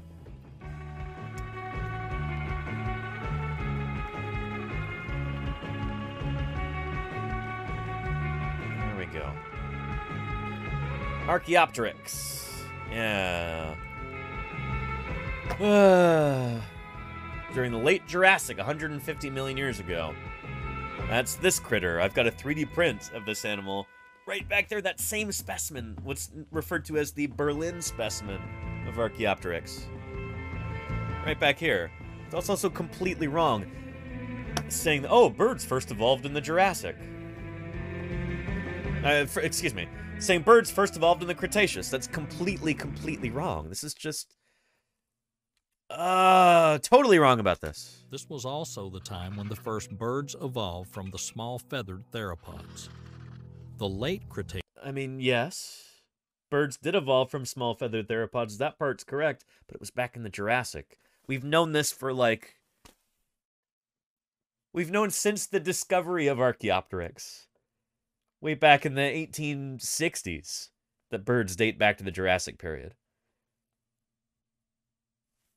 We've known this for well over eh, for 150 years, let's say, almost. Well, what 2023 minus 1860, 1861? What's that? Anyway, we've known this for a long, long time. There's no excuse for that. This is just completely lazy and uh, it's downright embarrassing. Which took place between 100 and 65 million years ago. 66 million years brought ago. even more Oh, boy. dramatic changes to Oh boy. One of the most significant events of this time was Thank you, Jody Fish. It's a long time. of the Pangea supercontinent into Yeah. separate land masses of Laurasia and Gondwana, which ultimately led to the formation of modern continents. This created the conditions for the evolution of unique dinosaur fauna on every continent. New environment also led to the emergence of new types of dinosaurs, adapted to the specific conditions of their habitat. I mean, The late all of this so far, that's th- this is true. Right here. created the conditions. One of the most significant events of this time was the tectonic breakup of the Pangea supercontinent into separate. Well, uh, Pangea was already breaking up in the Jurassic, though. Like, you already have the Atlantic that starts to open up. That's already happening. By, like, the late Triassic, Pangea is already starting to break up. So, I don't know. Eh, that's kind of wrong, but... Yeah. Yeah. land masses of Laurasia and Gondwana, which ultimately led to the formation of modern continents. And where did they get this? so goofy looking? Shoot, there's a, a wonderful free resource that I'd like to share with you. Uh, there we go. Let's go back to, say, the early Cretaceous. Let's try. Uh, 120 million years ago. There we go. This is a much better representation of what Earth would have looked like back then. You know? This. Just goofy. It's stock image from some website. This is a free resource that you can check out yourself. It's interactive. It's really, really cool. Um, but yeah, this is kind of what they're talking about. So, here. We'll go back further in time to, say, the beginning of the Age of Dinosaurs. This is Pangea right here, where you've got all the continents Africa, South America, North America, uh, Australia, Antarctica, India, all shunted together like that. There's Europe and Asia. Though it may not seem like much, 500 bits goes a long way towards Oh, thank you, supporting Lilith science. Hobo. I'll tweet here on Twitch. Apong squint Apong SLAP here Danny for the emotional damage. Thank you, Lilith Hobo. I appreciate you very much. Holy cow. Thank you, thank you. Yeah. And Sheridanicus, there's several videos on YouTube. Yeah, I don't know why they use this garbage right here when there's like, there's all these wonderful resources like this. So here, let's go back to the early Cretaceous, into the late Cretaceous like we're talking about. This is what Earth looked like at the time, more or less. There's India, Africa, South America. This is what we call Gondwana down here. So the continents kind of start to break apart. And the two, when Pangea starts to separate, we still refer to two supercontinents after its breakup. You've got Laurasia up north. That's North America, Europe, and Asia. Laurasia. And then down south, you've got Gondwana. South America, Africa, India, Madagascar, Antarctica, Australia, New Zealand, uh, down here in Gondwana. So yeah, there's a, a famous bumper sticker. Um,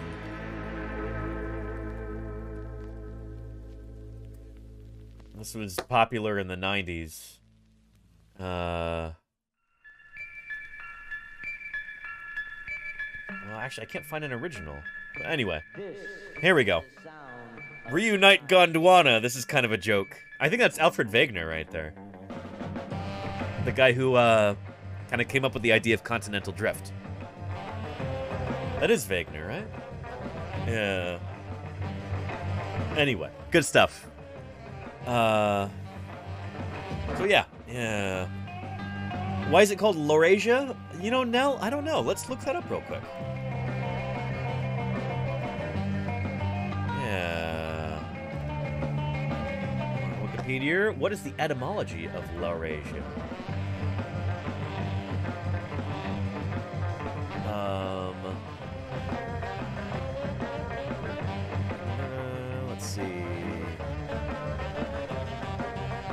Laurasia. Let's see. Here, let's just look up etymology of Laurasia.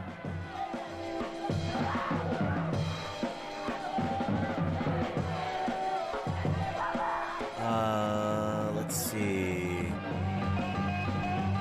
Oh, it's Laurentian plus the second element of Eurasia.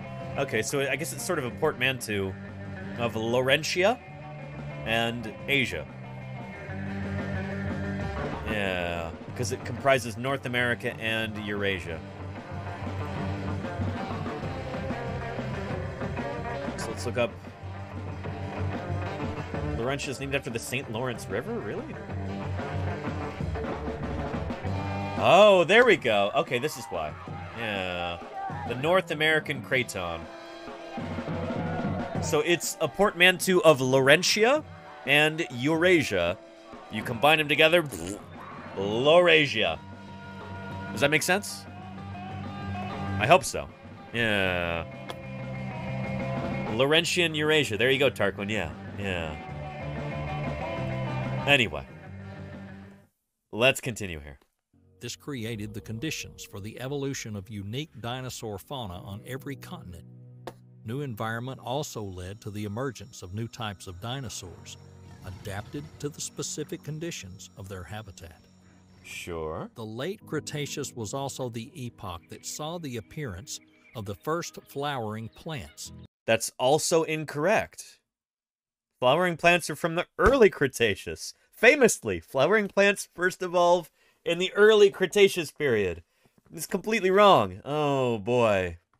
Oh boy. Uh, and I can show you a, a lovely little clip about that.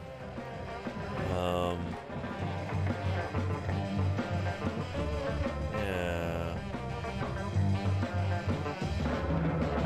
Right?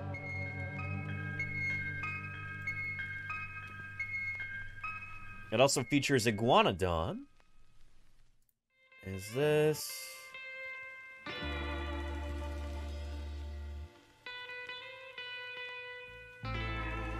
Yeah, here we go.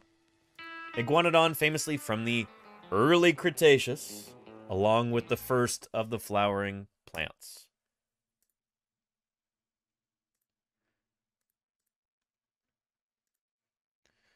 Uh,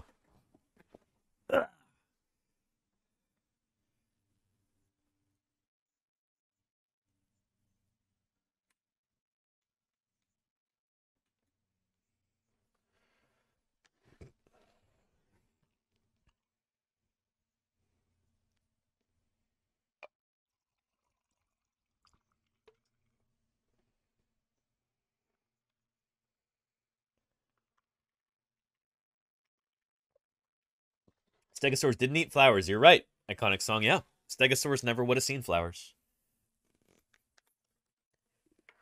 Here we go. Yeah. And this again is during the early Cretaceous.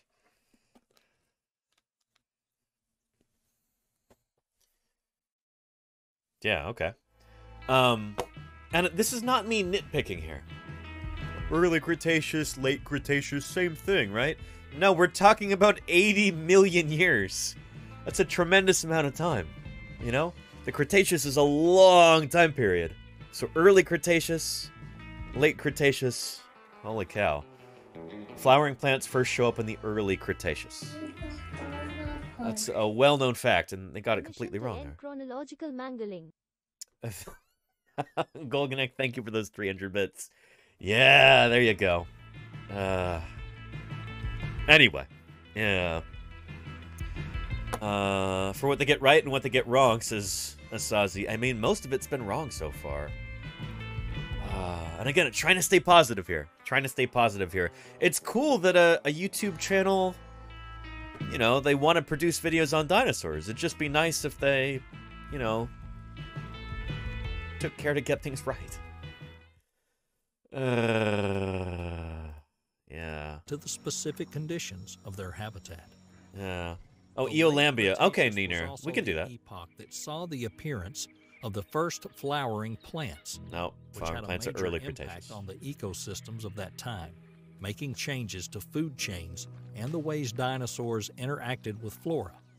Furthermore, as sea levels began to rise, flooding low-lying areas and creating the shallow waters we see today, Uh, and again, it's just there's all these grasses here. It's clearly footage from today. Grasses did not exist during the Cretaceous like this. it gave way for the new marine ecosystems to develop.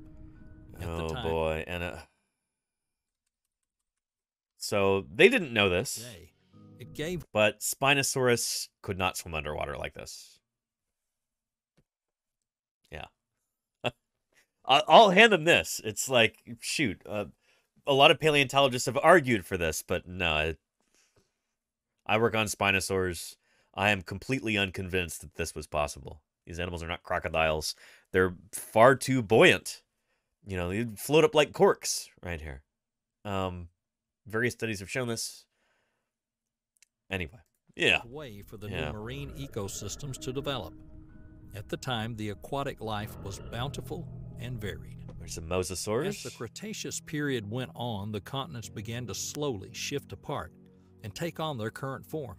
The once unified landmass of Pangaea gradually gave way to the separate landmasses of Laurasia and Gondwana, and eventually the modern continents we know today.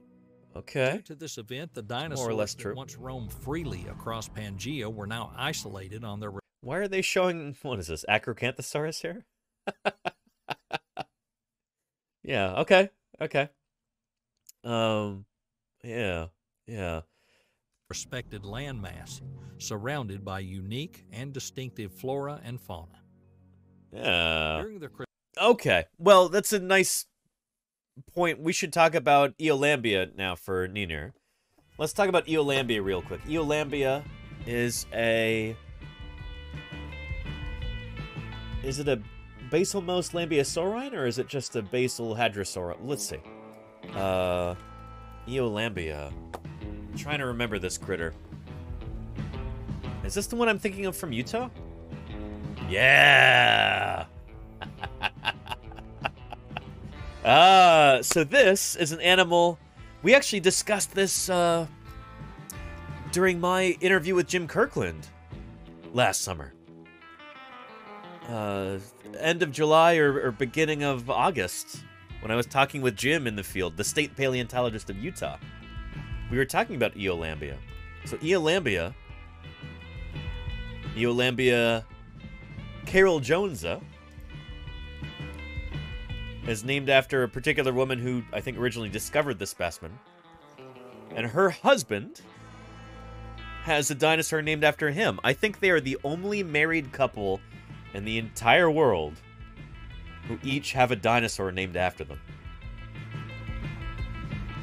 It's uh, Eolambia, caroljonesa, and I forget the genus Ramal Jonesi. But yeah, yeah. Uh, discovered by Carol and Ramal Jones in 1993, the specimen name honors Carol. Uh, yeah, since then, hundreds of bones have been discovered from both adults and juveniles, representing nearly every element of the skeleton, which is really rare for a dinosaur like this. So anyway, this is a early duckbill dinosaur. An Eolambia. Anytime you hear that prefix Eo in a name, Eo means early. It means dawn. It means like the beginning of something. So Eolambia, like the dawn Lambeosaur, dawn hadrosaur. I think it's it's derives its name from Lambeosaurus, named after Lawrence Lamb. So yeah, yeah. And wait, Rodan says the Carnegies did too. Oh, you're right, Rodan. You're right. Yeah. Diplodocus carnegii and Apatosaurus louisae, named after uh, Andrew Carnegie's Andrew Carnegie's wife Louise. Rodan. Ding ding ding ding ding. Holy cow. Um You're absolutely right about that, Rodan. Shoot. Yeah. That's excellent, Rodan. It's funny because I thought I thought I heard Jim also say that this uh anyway, that those are they're I guess they're the only two living people, the only two living married couple with dinosaurs named after both of them. But yeah, yeah. Anyway, Eolambia, very very cool. Uh, large member of its group. Let's see. Where, do, where does it fall in? Is it a basal Basolambiasaurian or is it something else? It was originally interpreted as a basal Basolambiasaurian. What an important dinosaur. Shoot, Eolambia. I really need to learn more about this critter. Uh, it's from the Mussentuchit member of the Cedar Mountain Formation. This is where I was working last summer, but the Cedar Mountain Formation is huge, huge, huge. There's like, f- what, 30 or 40 million years represented in the Cedar Mountain Formation? It's pretty nuts. Uh, yeah, yeah. Pretty crazy. Here, give me just a second, and I will grab you a uh, a sheet that I'll show you on the desktop camera. Just a second.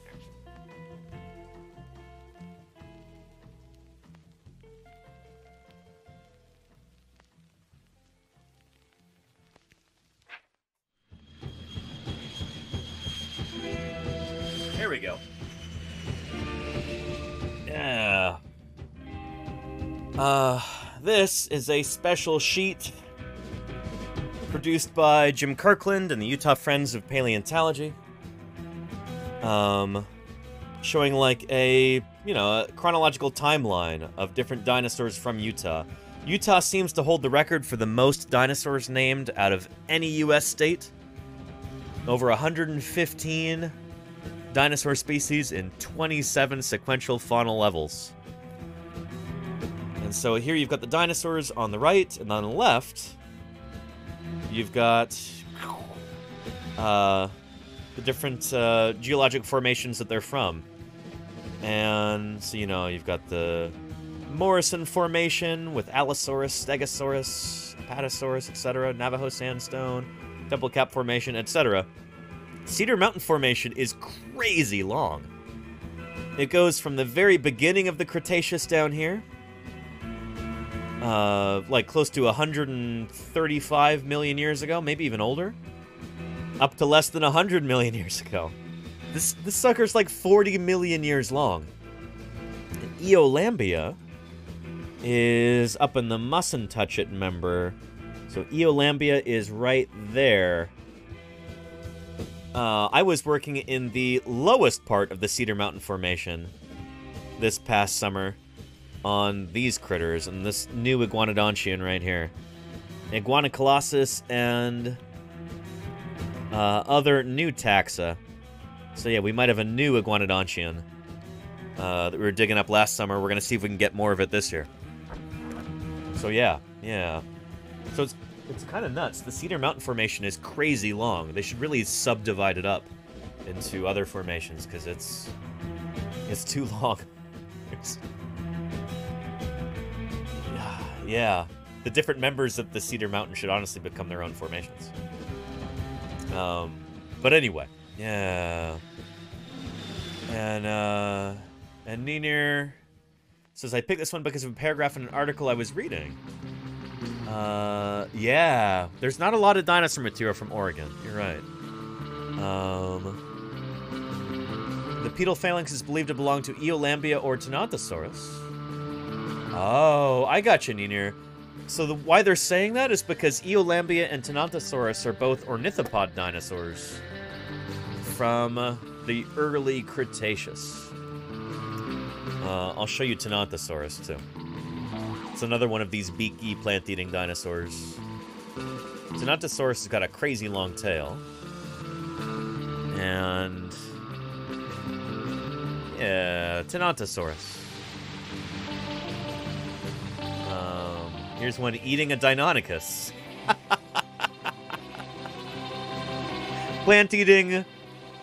Most of the time. I love this, because usually it's Deinonychus eating Tenontosaurus. That's a story for another time. But anyway. Yeah. Well, it's a lovely Tenontosaurus there. Really nice. Crazy long tail.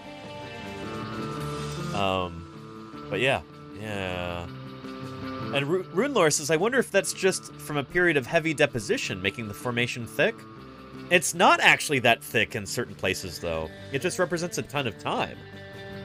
So it might be very slow deposition over a really, really long amount of time. You know? Yeah. So anyway. Ninontosaurus. Oh no, Mayor's face. uh, and Tenontosaurus in the game The Isle look nice. They do kind of look nice. Yeah. That's a neat depiction.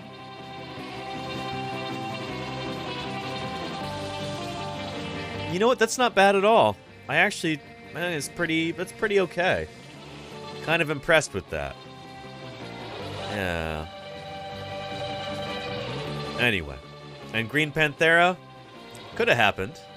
Tenontosaurus eating meat. I mean, I think. So yeah, here's. There we go. Uh, Tenontosaurus eating a Deinonychus just because it can. This is the thing, is that in most illustrations of uh, Deinonychus and Tenontosaurus,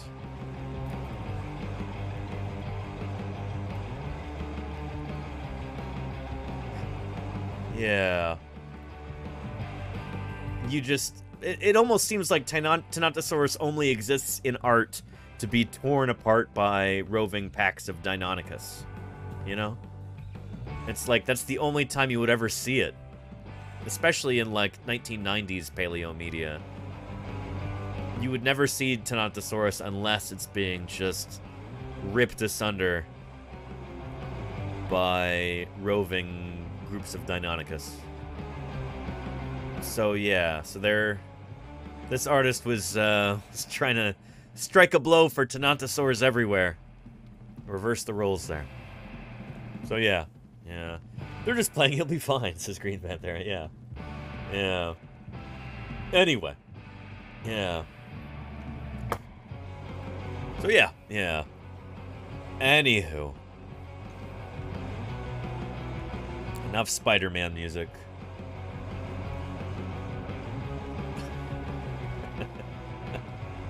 let's uh let's continue our video here. Oh boy. Cretaceous, the Earth was ruled by gigantic creatures, each with their own unique strengths and weaknesses. Uh, uh, why are they showing a Spinosaur? Spinosaurs famously went extinct in the early Cretaceous. They don't make it into the late Cretaceous. They're, they're like Cenomanian at the at the youngest, which a Cenomanian early or late? It's right in the middle. I would call that middle Cretaceous. But anyway, Spinosaurids don't they go extinct at like the end of the Cenomanian. At the heart of the North American Uh. continent, a fierce battle was about to unfold between the most powerful predators and the most persistent herbivores. Tyrannosaurus rex, the king of the predators, roamed Oh, the land boy. in search of his next prey. Jurassic World evolution It was evolution one of the largest land predators ever to have existed, reaching a True. length of 39 feet and weighing about 7 tons. It's funny because they've probably overestimated the weight and underestimated the length. we have Tyrannosaurus specimens that are over 40 feet long. You know, I think Sue is about 42 feet long. Uh, she's like, yeah, approaching 14 meters, I think. Um, yeah, and there's other, like the Canadians have got Tyrannosaurus specimens that they claim are larger too. Um, yeah, yeah. Anyway. Uh, you've never heard of this dinosaur, really, Green Panthera? This one here? That's such a lousy stock image Tyrannosaurus, too. This is, oh, this is garbage. Garbage. Armed with massive jaws and razor And uh, there are so many images of, of Tyrannosaurus skulls from around the world. Why would you, why would you use like a, uh, this is garbage. What even is this? Uh, this is like a sculpt that somebody did. There is probably no dinosaur in the world that's easier to get like actual photos of the skull of. Tyrannosaurus, it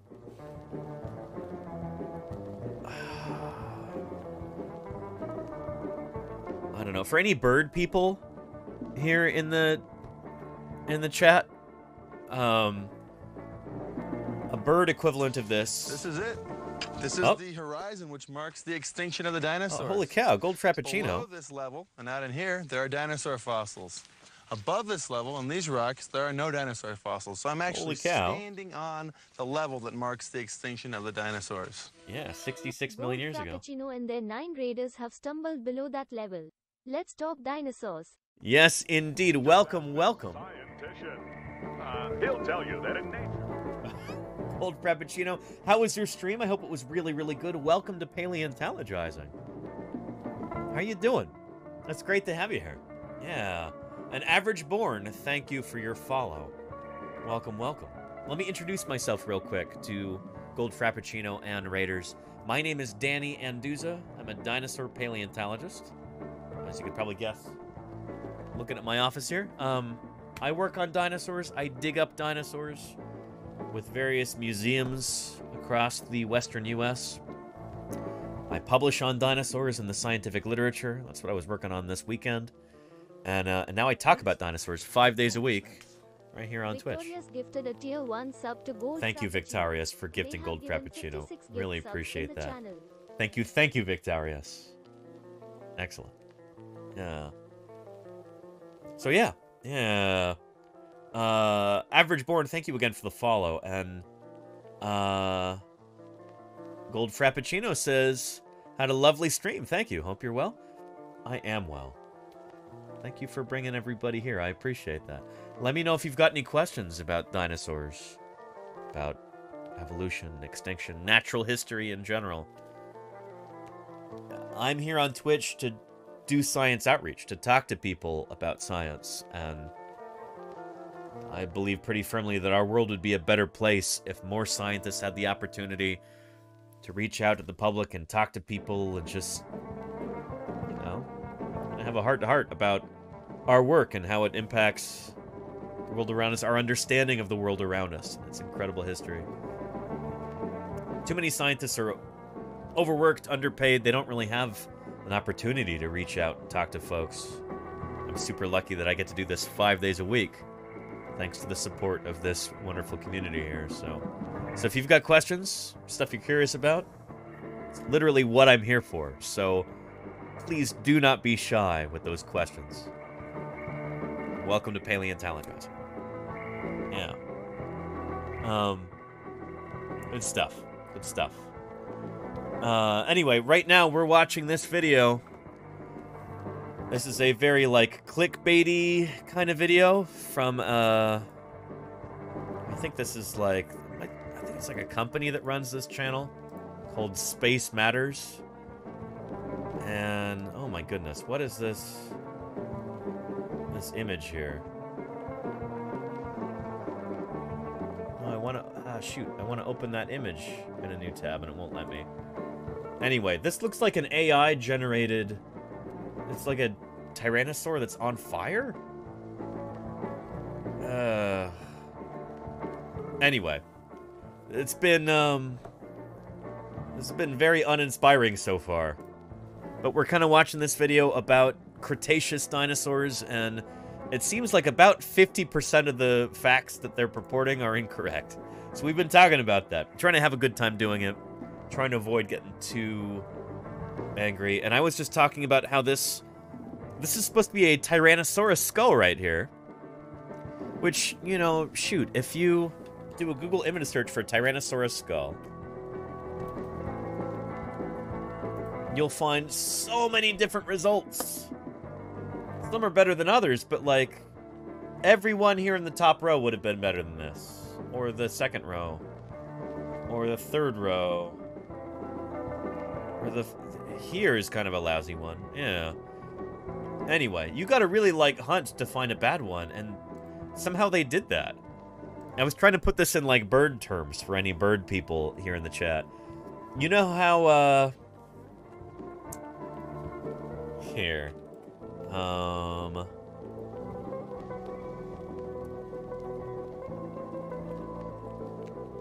Some of you might be surprised by this.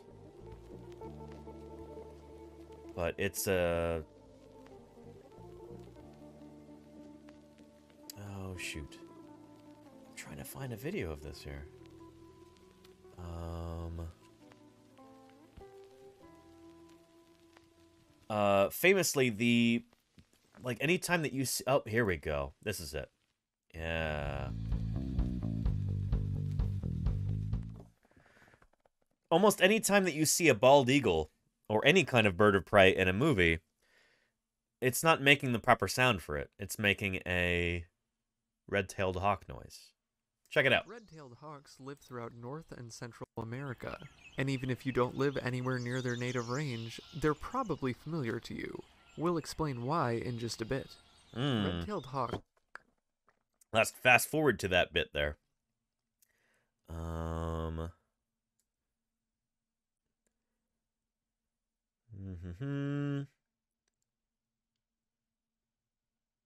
Here we go.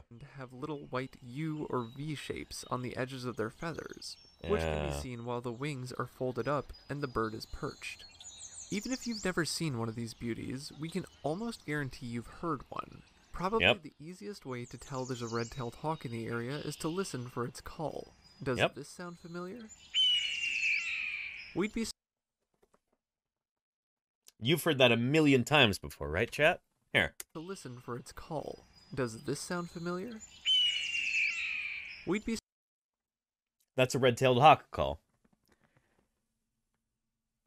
I'm building to an analogy here. This is all going somewhere. I'm not jumping around for no reason. surprised if you haven't heard that or something similar, because that's the sound filmmakers use as sound clips for raptors in film, regardless of the species. Yep. Female red-tailed hawks are... So anyway, almost any time that you see a bald eagle in a movie, they give it that noise, and that's the noise of a red-tailed hawk. And bird people, people who are passionate about birds, you know, they're uh it drives them nuts, and it kind of drives me nuts too. It's like I don't know. And if you're watching this and you go, well, that's not that's not a big deal. Why do they get so upset about that? Think about something that you're passionate about. Whether it's oh shoot, I don't know. Uh sports cars or baseball or uh, celebrity gossip or something like that. Think if like every time in a movie that thing showed up, they got it wrong. It would take you out of the film. It would it would ruin your immersion. It'd be like, why not just get it right? You know, it it's just as easy to get it right as it is to get it wrong. It's like you went out of your way to get it wrong. What's up with that? It's kind of the same deal as here, where you know this is supposed to be a Tyrannosaurus skull and it just looks off. It looks wrong. They used like a weird sculpt or something here for a T-Rex skull.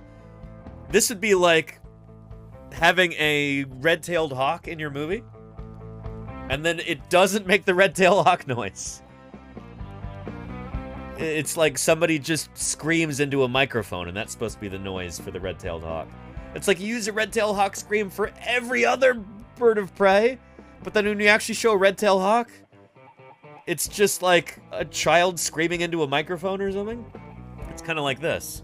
Everybody knows what Tyrannosaurus' skull looks like. It is a super, super common dinosaur. Like, it's not difficult to find images of its skull at all. And here they just used like a weird sculpt or something. What? What? Oh boy. Yeah. So anyway. Yeah. Uh and Lenina so Lenina knows. Lenina says when people see me knitting and ask if I'm crocheting, it's not great every time. Yeah, Lenina, there you go. Shoot, I gotta be sure not to make that mistake. But yeah, yeah.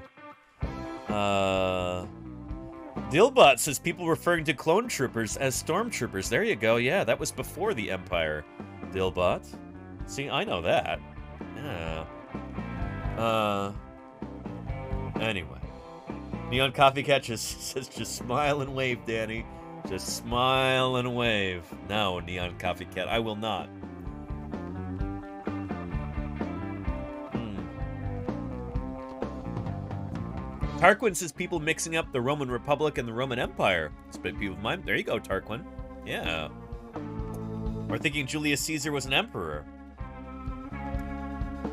Well, he was Caesar. Yeah, he was an emperor, right? Anyway. Um. Yeah. Do you want to know what a bald eagle actually sounds like? Uh. Before we move on with our dinosaur video? Yeah. Here we go. So, red-tailed hawk versus bald eagle. That's a red-tailed hawk. This is what a bald eagle sounds like. It's kind of a chittery kind of call.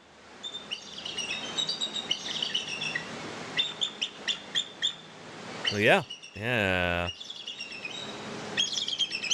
Sorry if that's too loud. Yeah. Anyway, now, now you know. Hopefully you'll never make that mistake. And you'll be, in this regard, smarter than every filmmaker, uh, Foley artist, director, whatever, out there. You know? Producer. Uh... Anyway, so yeah, this is garbage. Ugh. Sharp teeth up to six inches in length. That's also not a Tyrannosaurus tooth. Oh boy, that's a Carcharodontosaur dinosaur tooth. It was a formidable adversary for any Oh, creature boy. it came across. The discovery journey of the Tyrannosaurus And again, is it uh they're using like a weird sculpt here rather than a it's not difficult to get footage of an actual skull. Uh the 19th century, when the first remains of this mighty predator were discovered in the western United States. This discovery was a milestone in paleontology and as it was That's not a one of the most tyrannosaur there. and largest dinosaurs to have ever been discovered This at is the not a tyrannosaur. The first specimen discovered was on display at Uh. the American Museum of Natural History. There's so much footage of the AMNH T-Rex. Why would you have to show this? You could even literally just show the logo for Jurassic Park, and that is the AMNH Tyrannosaurus there. That's AMNH 5027. Right? Uh, or maybe that's the Carnegie Museum. Anyway, History. this is wrong. York. The T-Rex Uh. had powerful jaws with a bite. And this is Allosaurus. Oh my goodness, this is not even the right dinosaur. It's Allosaurus from the Jurassic, not Tyrannosaurus from the end of the Cretaceous. This is, oh my goodness, really, really trying my patience here. Uh,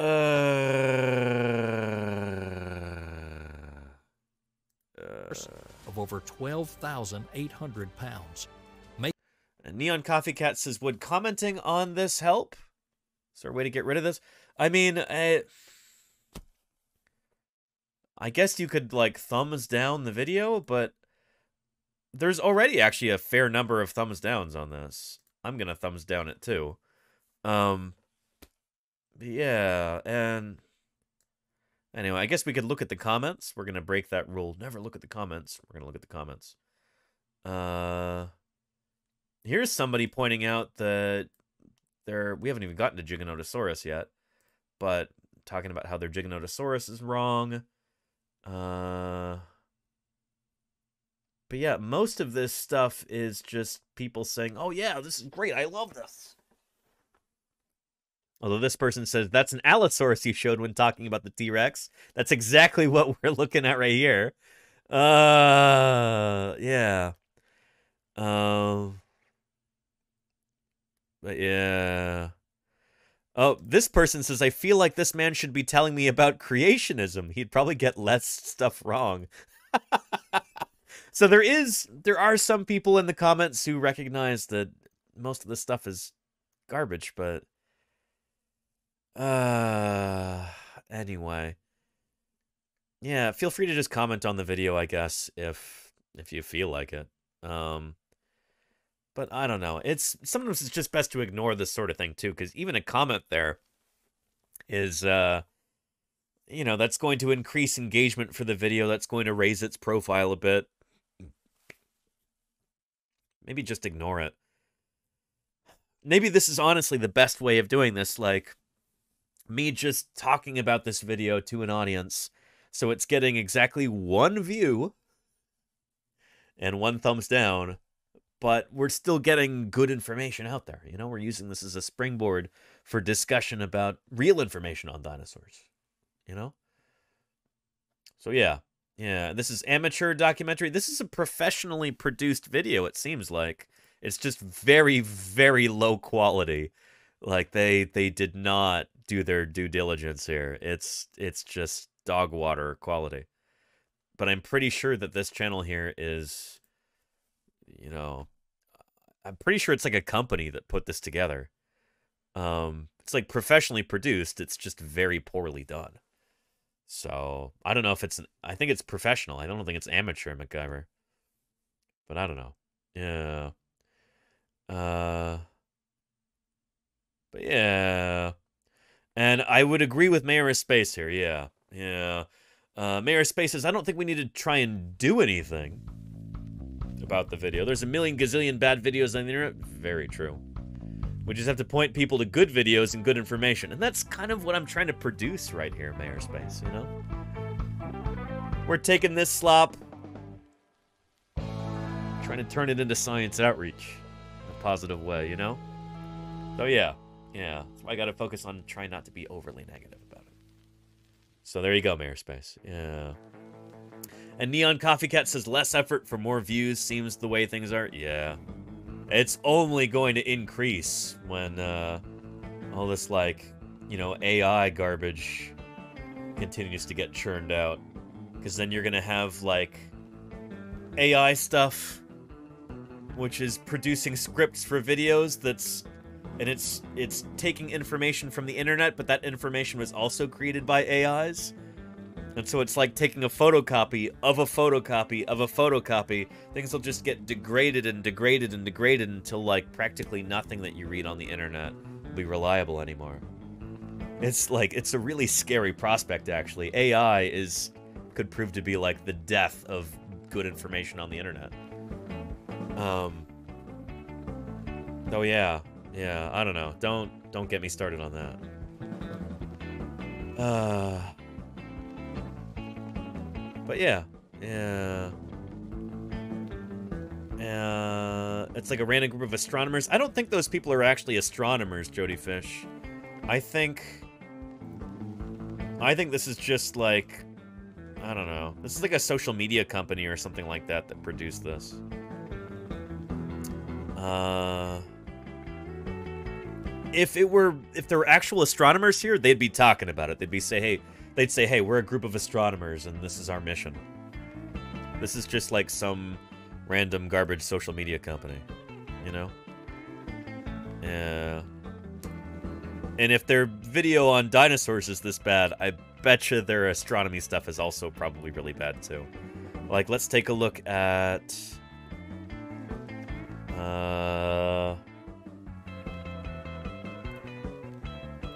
Here, let's take a look at the comments on this video on images of Pluto. Um.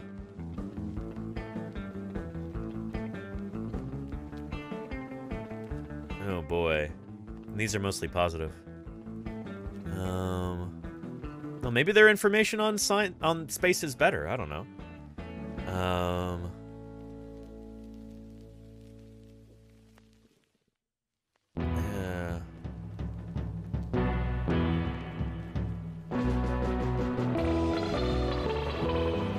This person says most of what you said is not true. I also do not like before scene pictures. Uh,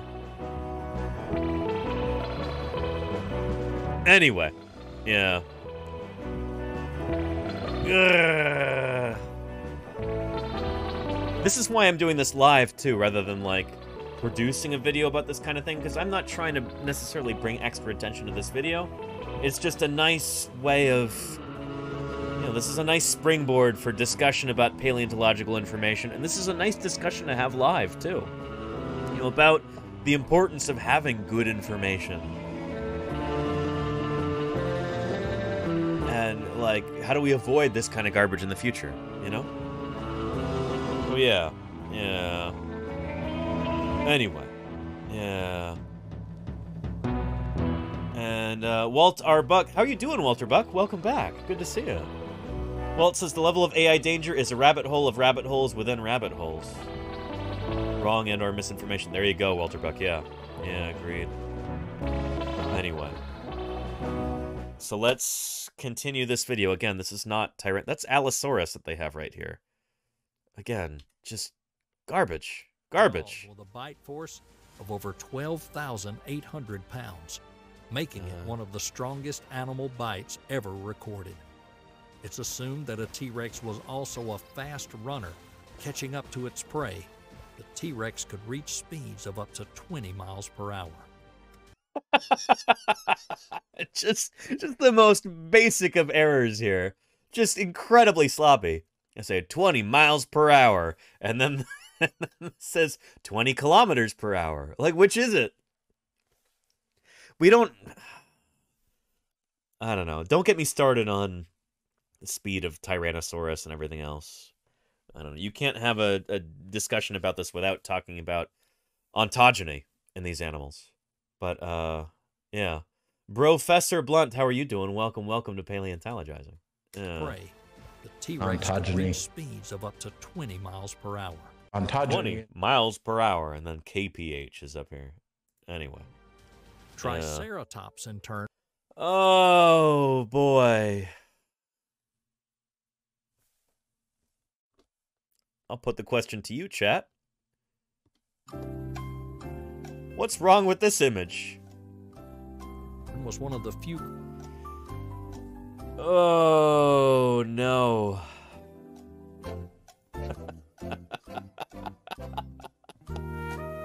see, Bet Medler, you see what I'm talking about? These are not. I'm not nitpicking here. It really is just completely wrong. This is garbage. Uh. So obviously, this is not Triceratops. It's not even like they showed another Chasmosaurian ceratopsian, like, oh, a Rhinoceratops or Pentaceratops. Professor Blunt, thank you the follow and welcome to Paleontologizing. It's good to have you here. Hope you stick around. Let me know if you got any questions.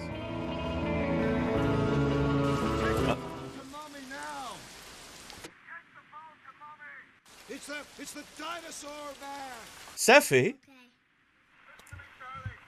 This stream is making my night. Thank you, Danny. thank you, Sephi, for the three months of primes there. Sephi, I appreciate that tremendously. Thank you, thank you. Holy cow. That's excellent. I Really appreciate your ongoing support, Sephi. You're the reason that I can continue to do this, along with other recurring subscribers. I, this would not be possible were it not for your continued support, so thank you very, very much. Holy cow. Um. So yeah, yeah. This is obviously not Triceratops. This is Pachyrhinosaurus. This is like an entirely different genus. It's from a different family of horned dinosaurs. This is from. Whoop! Hang on a second. We've got some gift subs from Sephi, and I'm sure our our new upgraded Tinamou bird can handle this, right? Very excited about those subs, and um. Oh, uh oh. Get out of there, it's gonna blow! Shoot! Sephi 314 is overloading the system with 10 gift subs. Sephi, thank you, thank you for that. Holy cow.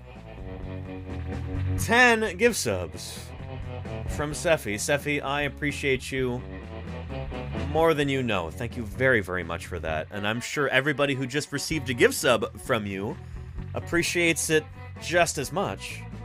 Now they won't have to watch ads for the next 30 days.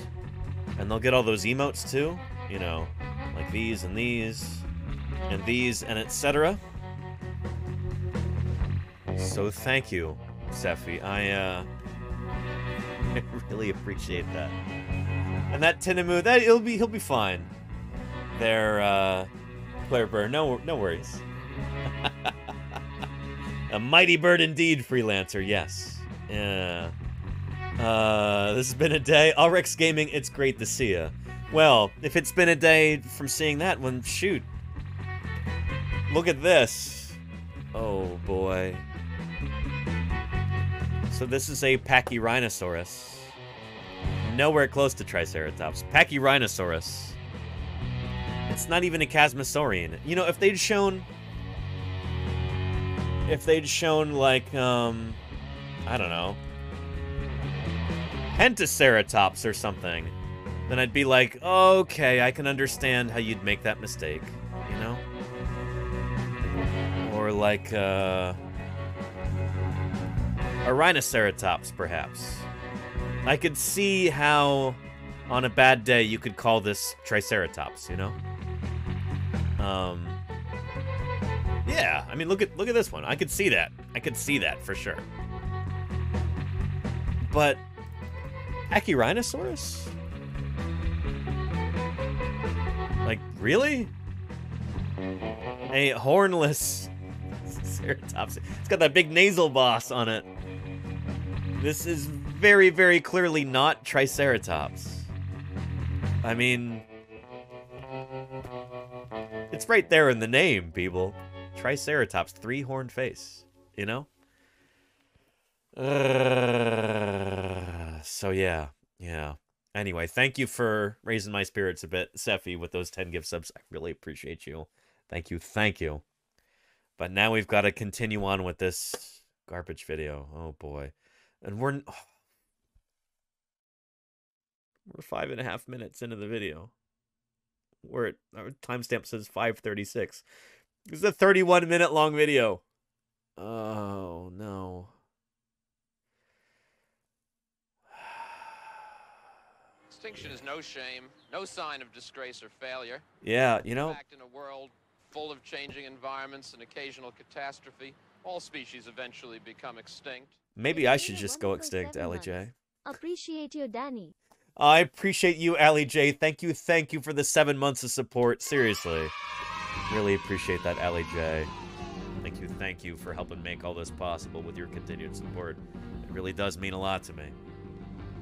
Um, With sincere yeah. appreciation and gratitude, thank you very much for the 100 bits. and MacGyver. You can do it, soldier. You know what? You're right, MacGyver. Thank you. Let's let's climb back into the trenches here, and uh. Oh boy, you know I've I've worked on Triceratops before. I've dug up a whole bunch of Triceratops, and uh, you know I know Triceratops, and this is no Triceratops. This this part's gonna be painful, so.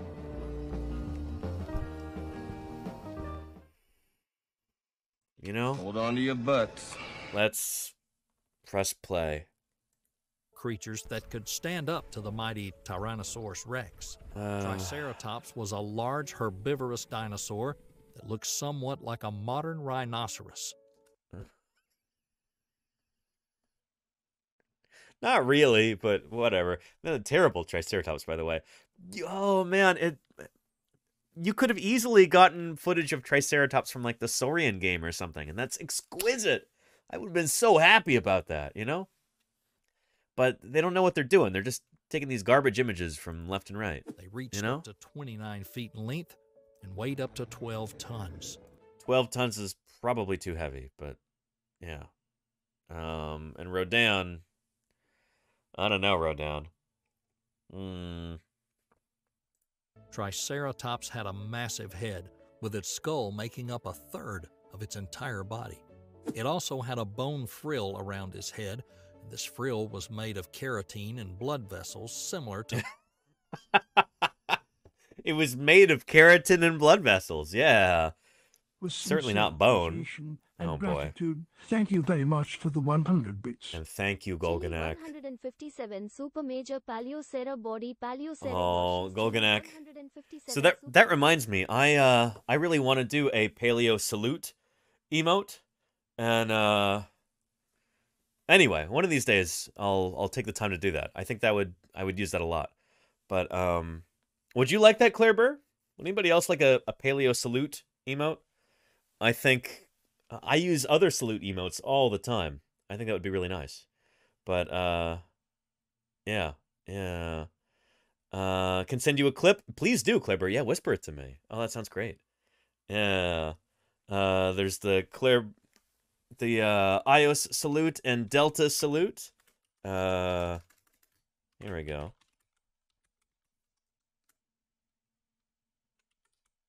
Oh, do I not have that anymore? Oh, shoot. Anyway, yeah. Paleo thumbs up. We already have yes, roses and tea, but I'll I'll take that under advisement. Thumbs up might be useful as well. Oh yeah. Anyway, one of these days we'll do that. But yeah, this is the Hatcher specimen of Triceratops. Uh, this Triceratops horridus. I think. Well, actually, its horns are looking kind of processy. But anyway, this is from the Smithsonian in Washington D.C. You can actually see this today underneath a Tyrannosaurus having its head pulled off by the Wankel Rex. But anyway, yeah. head. This frill was made of keratin and blood vessels made of keratin and blood vessels similar to feathers. Wait, what? Um, didn't Prorsus have fenestrae? Only, well, probably not as early in ontogeny as Horridus did, Jody Fish. Yeah, it would have to be like a super mature Triceratops prorsus to have fenestrae.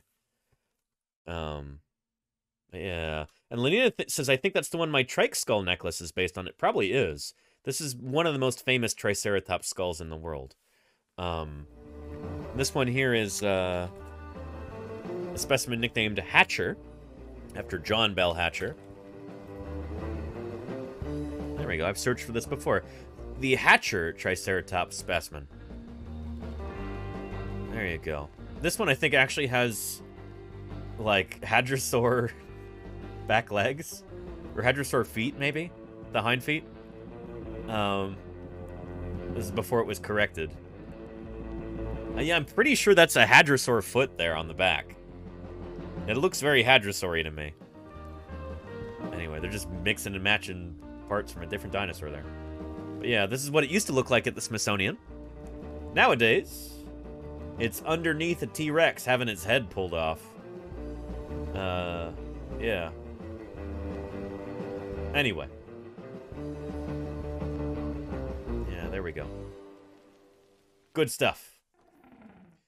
So yeah. Frill around his head. This frill was made of keratin and Wait, and Professor Blunt says, what are those ribs near the rear legs? Wait, what do you mean? Um...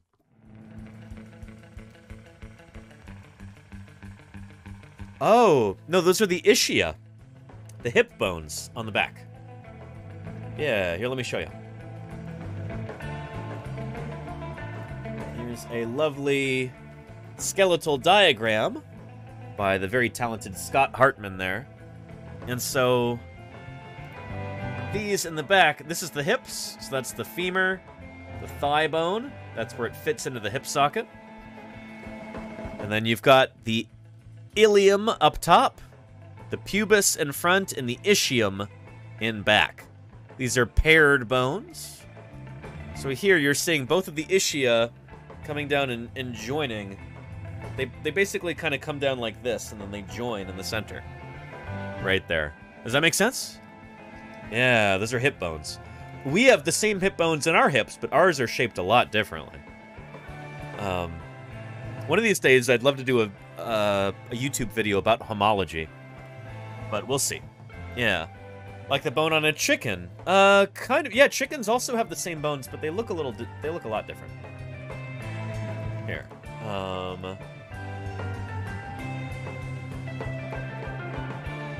A chicken pelvis. There we go. So the. Yeah. And the chicken, the ilium and the pubis and the ischium were all kind of fused together. But yeah, there it is right there. There's the ilium part of the pelvis of a chicken. Right there. Which, can you kind of see the similarity? See kind of what's going on there? Yeah. The one that looks like a V, Prof Professor Blunt. Yeah, yeah. I'm glad that makes sense. Thanks for thanks for asking about that. Yeah. See, that's what that's what makes these streams fun. This, you know, live give and take like this. You've got questions, I've got answers, you know? If you're feeling a bit cheated, try blaming the dinosaurs. Thank you, Lilith Hobo, for those 100 bits. Really appreciate that. Thank you, thank you. Yeah. Good stuff. Hmm. So anyway, yeah. Triceratops. What was this explanation about the frill? Oh no. It also had a bone frill around his head. This frill was made of keratin and blood vessels similar to. So it wasn't. So the frill itself is bone here, but it would have been covered with keratin that was supplied by blood vessels. So that's. Even if it's not incorrect, they worded it really badly to make it really confusing. Oh boy, yeah. Keratin, not carotene. Yes. Keratin is the same material that our fingernails or our hair is made from. Similar to the feathers of a modern bird.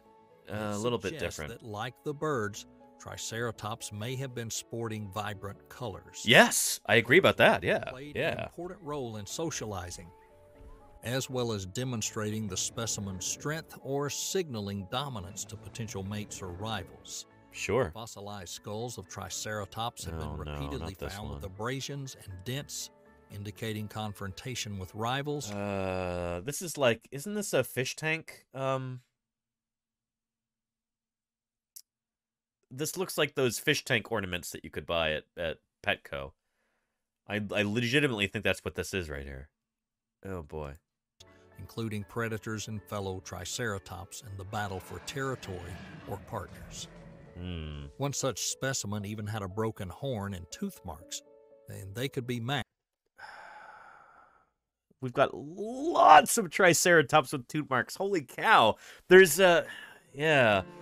I mean, it, it rankles me that they're they're like, oh, one such specimen even had tooth marks, and this is one that was auctioned off in Paris last year for way too much money, just ridiculous. Trying to like commercialize dinosaur science, sell specimens to the highest bidders. I'm very much opposed to that. But actual scientific research done on dinosaurs, like uh, like Denver Fowler, my old crew chief.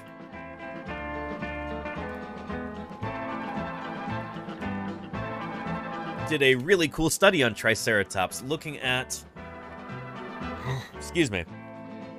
Looking at all these different specimens at Museum of the Rockies and looking for. Uh, for tooth marks on them. To basically try and find patterns for like, you know, if we consistently find tooth marks in the same place in the same orientation, shows us kind of a pattern. This is probably how T-Rex was eating Triceratops. You know? Uh, very cool stuff. Yeah. Denver Fowler Museum of the Rockies in Bozeman, Montana, and his colleagues studied numerous Triceratops specimens from Montana's Hell Creek Formation to identify how many had the characteristic tooth marks of Tyrannosaurus on them. They found 18 specimens. That's just at Museum of the Rockies, 18 trikes with T-Rex tooth marks on them. Uh, when they looked closer, they noticed something important. None of the bones showed any signs of healing, indicating that the bites were inflicted on dead animals that were in the process of being eaten. Yeah. Uh, very cool. So anyway, uh, Denver said it's gruesome, but the easiest way to, to eat a Triceratops was to pull the head off, explains Fowler with a grin. The researchers found evidence to support this idea when they examined the Triceratops occipital condyles. That's like the, the ball and socket connector joint between the head and the neck. Uh, and found tooth marks on there, too. Such marks could only have been made if the animal had been decapitated. So anyway, really, really cool stuff. I'll give you the link to this. How to eat a Triceratops. Fascinating stuff. And it was Tyrannosaurus eating Triceratops, Green Panthera. Yes, indeed, the, the bite marks match that of T-Rex. And those are just at Museum of the Rockies, Golkanek, yeah. 18 different Triceratops with T-Rex bite marks just at that one museum. Think about all the museums around the world that have Triceratops specimens. From Montana, from Wyoming, from North and South Dakota, in Colorado. So yeah. Uh, how to serve ma... I mean, trike. There you go, Walter Buck. Yeah. it's a cookbook. Yeah. Oh. So anyway, yeah. Yeah, since that frill would protect the neck at least a little bit from bites, uh, Professor Blunt, you'd have to pull the head off in order to, uh, in order to get to the, uh, the neck meat underneath. Yeah. There we go. Uh, my friend Nate Carroll actually did the illustrations for this. Denver wanted really simple illustrations. You know, just like a schematic, basically. Like something you could see in a, in a set of IKEA instructions. You know? Here's how you can put together your Norfelsbral coffee table. Or here's how you can eat your Triceratops as a T-Rex. Pretty cool, right? Yeah. Uh. So yeah, how to disassemble your trike. There you go, Lenina. Yes, indeed. So anyway, there are, I guess maybe were some bite marks here, but this was never really properly published on because this was a commercial specimen. They dug this thing up only to sell it. This wasn't done for science. It was done for, you know, to try and make a huge profit. And unfortunately, they did make a huge profit. It's bad news for our science, but match to a Tyrannosaurus rex bite. Yeah. However, fossil studies have shown that the dinosaur itself died of natural causes. This shows that with its three horns Yeah, we don't know that. protective bony frill, the Triceratops was a formidable opponent for any predator. At the same time, a heavily armored Ankylosaurus Uh, at least it is Ankylosaurus that they're showing here. This is such a garbage one. You want to see a good Ankylosaurus? I'll show you a beautiful one. But, uh, yeah, this, basura, afuera.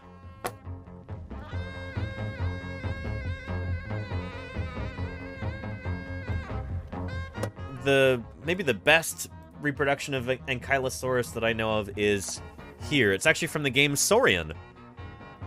It's beautiful. I love the coloration. The armor like pattern is actually based on real fossil evidence. Victoria Arbour, who published a paper on uh, uh, like revising Ankylosaurus and its armor pattern, she'd be really proud of this. She may have helped consult on this. I don't know. But uh, but yeah, yeah. Anyway, really, really good stuff. This is a beautiful Ankylosaurus here. And I wonder if... You know, we might be playing this game tomorrow, actually. I think I have that on the schedule. Uh, um... Do we have footage of this animal?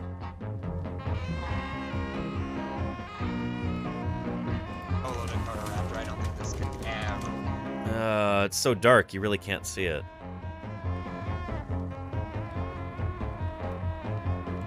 Uh, that's unfortunate. Anyway, such a, a beautiful representation of this animal. Oh, here we've got a, I guess in the Saurian game, this person's playing as Triceratops. Man, their graphics card is really struggling here. But there's a big ol' honkin' male Triceratops. And they're gonna go try and fight this Ankylosaurus here. Yeah. Anyway, that Triceratops is like bigger than an elephant. That's this is a huge animal. Ankylosaurus is pretty darn big too. One of the biggest of the Ankylosaurs.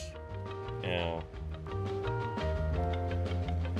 A video game stream? I think so, Lydia. We'll see if I can get the green screen to work. Yeah. Uh, With sincere appreciation and gratitude, thank you very much for the 100 bits. A point WHOA for your new graphics card jar. oh, Lilithoba, I appreciate that. I don't need a new graphics card. This whoever posted this video did. Um, but I appreciate that, Lilith Hobo. I will put that maybe toward the generator fund that we'll need for this summer. Uh, maybe this weekend. Uh, yeah, Lenina, go for it. Sounds cool. And Walter Buck says, did herbivores ever fight over resource feeding grounds? Oh, definitely. And Sure, yeah. Thank you very much for the 100 bits. View a Saurian night with Danny. Uh, Sephi, well, shoot, tomorrow on stream, I think I'm going to be playing Saurian. We'll see. Anyway, here's this person trying to fight an Ankylosaurus as Triceratops. Why? Leave him alone. Anyway, uh, what a wonderful representation of this dinosaur. This is one of the best reconstructions I have ever seen of uh of Ankylosaurus. Just really, really beautiful. This is garbage by comparison. Yeah. roamed the land on the territory of the modern USA and Canada. It reached 29 feet in length and a weight No, of about seven tons. What? Ankylosaurus is Uh, what was that? 29 feet in length. Uh, completely. Oh, just. I don't even know what to say. Garbage. Weight of about seven tons. That's the ARK Ankylosaur? Oh boy. I'm sorry, but the ARK Ankylosaurus. Dog water. Just terrible. Really, really bad. Really bad. of about seven tons. Oh no. Ankylosaurus is also known for its So here it is. This is what it looked like in Jurassic Park 3, which wasn't great for the time, but it wasn't terrible. Nowadays, you know, we've got much better information on what these animals look like. Uh,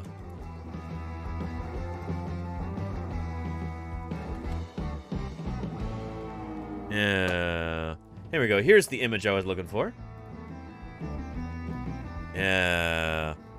So this is from Ankylosaur researcher Victoria Arbour on her paper, Revising Ankylosaurus.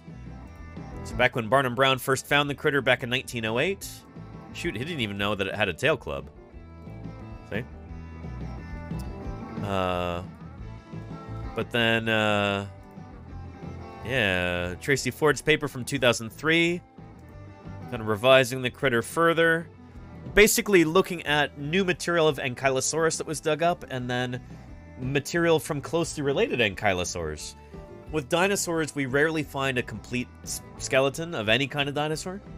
And so we use their very close relatives to help fill in the gaps.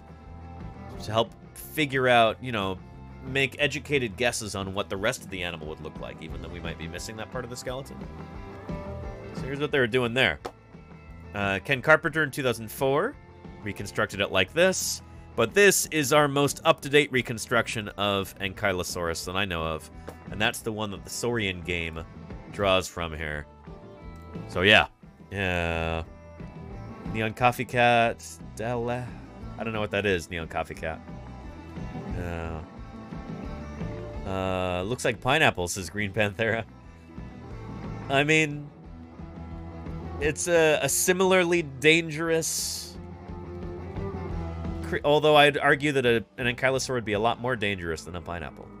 You know? Oh, yeah. Yeah. Anyway. Yeah.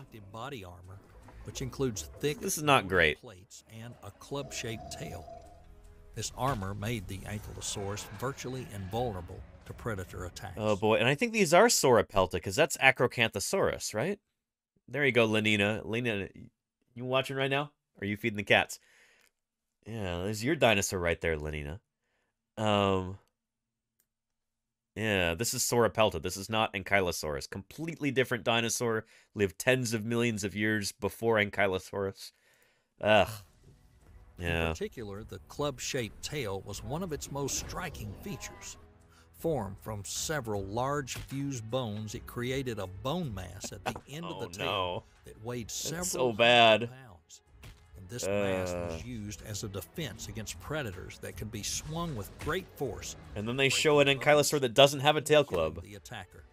This unique Uh. adaptation, along with its armor, allowed the Ankylosaurus to survive in an environment where predators constantly hunted for food. Another unique inhabitant of North America was the Pachycephalosaurus. I don't know if I'd say that Pachycephalosaurus was unique. I mean, we've got other Pachycephalosaurus from around the world. Unique means there's nothing else like it. Unique is a superlative word. It, you know, something can't be very unique. It just it is unique or it's not. Unique is if you say something's unique, that's a strong claim. You know. Steffi says, but he has a funny head. Well, yeah, but there's a lot of other Pachycephalosaurs that got funny heads too. You know. Stegosaurus leaps to mind. You know, Stegosaurus. Um, another Pachycephalosaur, another member of the same family. Um, you know, uh, Prenocephale.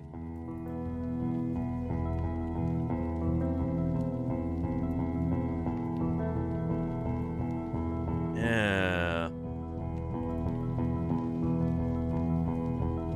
Here we go. Prenocephale. So Pachycephalosaurus, I wouldn't call it unique, you know? It's it's got a lot of relatives. That's how we actually know what Pachycephalosaurus would look like. Because I don't think anybody's found a complete skeleton.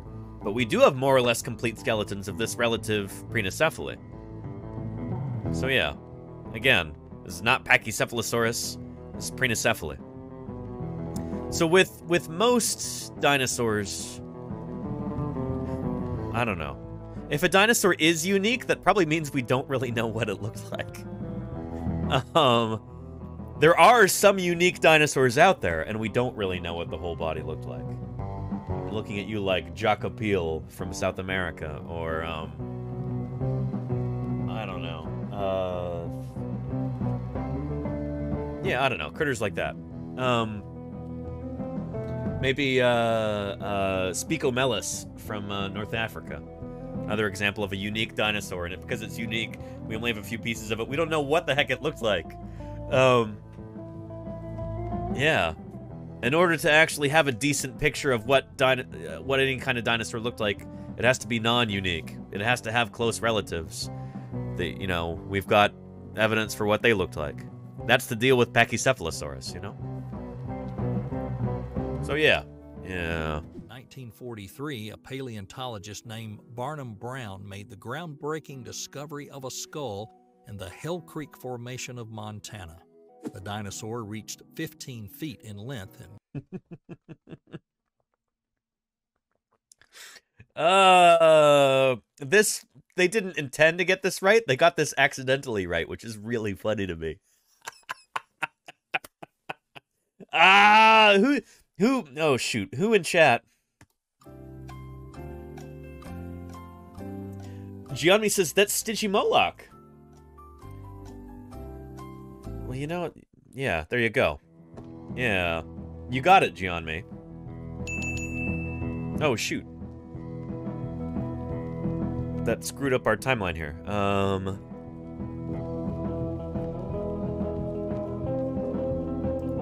There we go. Yeah. So Stygimoloch and Pachycephalosaurus... Probably the same dinosaur. So they, they like, made a mistake, but they, they're really lucky for them. The mistake turned out to be, like, more or less true. Uh, let me show you what I mean. Here's from an old TED Talk.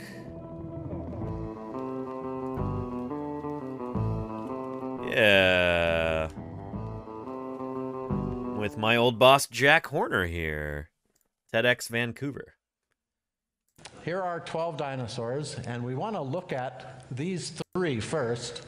So these are dinosaurs that Yeah. are Pachycephalosaurs. And This is some knows There you go, Green Panther, yeah. animals were related. Yep. And the assumption is is that they're related, you know, like cousins or whatever. But no one ever considered that they might be more closely related. Yeah, Lenina. Yeah, Ichi is pretty people unique. looked at them and they saw the differences. And you all know that if you are going to determine whether you're related to your brother or your sister, you can't do it by looking at differences, right? You can only determine relatedness by looking for similarities. So people were looking at these and they were talking about how different they are. Pachycephalosaurus has a big, big, thick dome on its head, and it's got some little bumps on the backs of its head. And it's got a bunch of gnarly things on the front of its nose. Yep.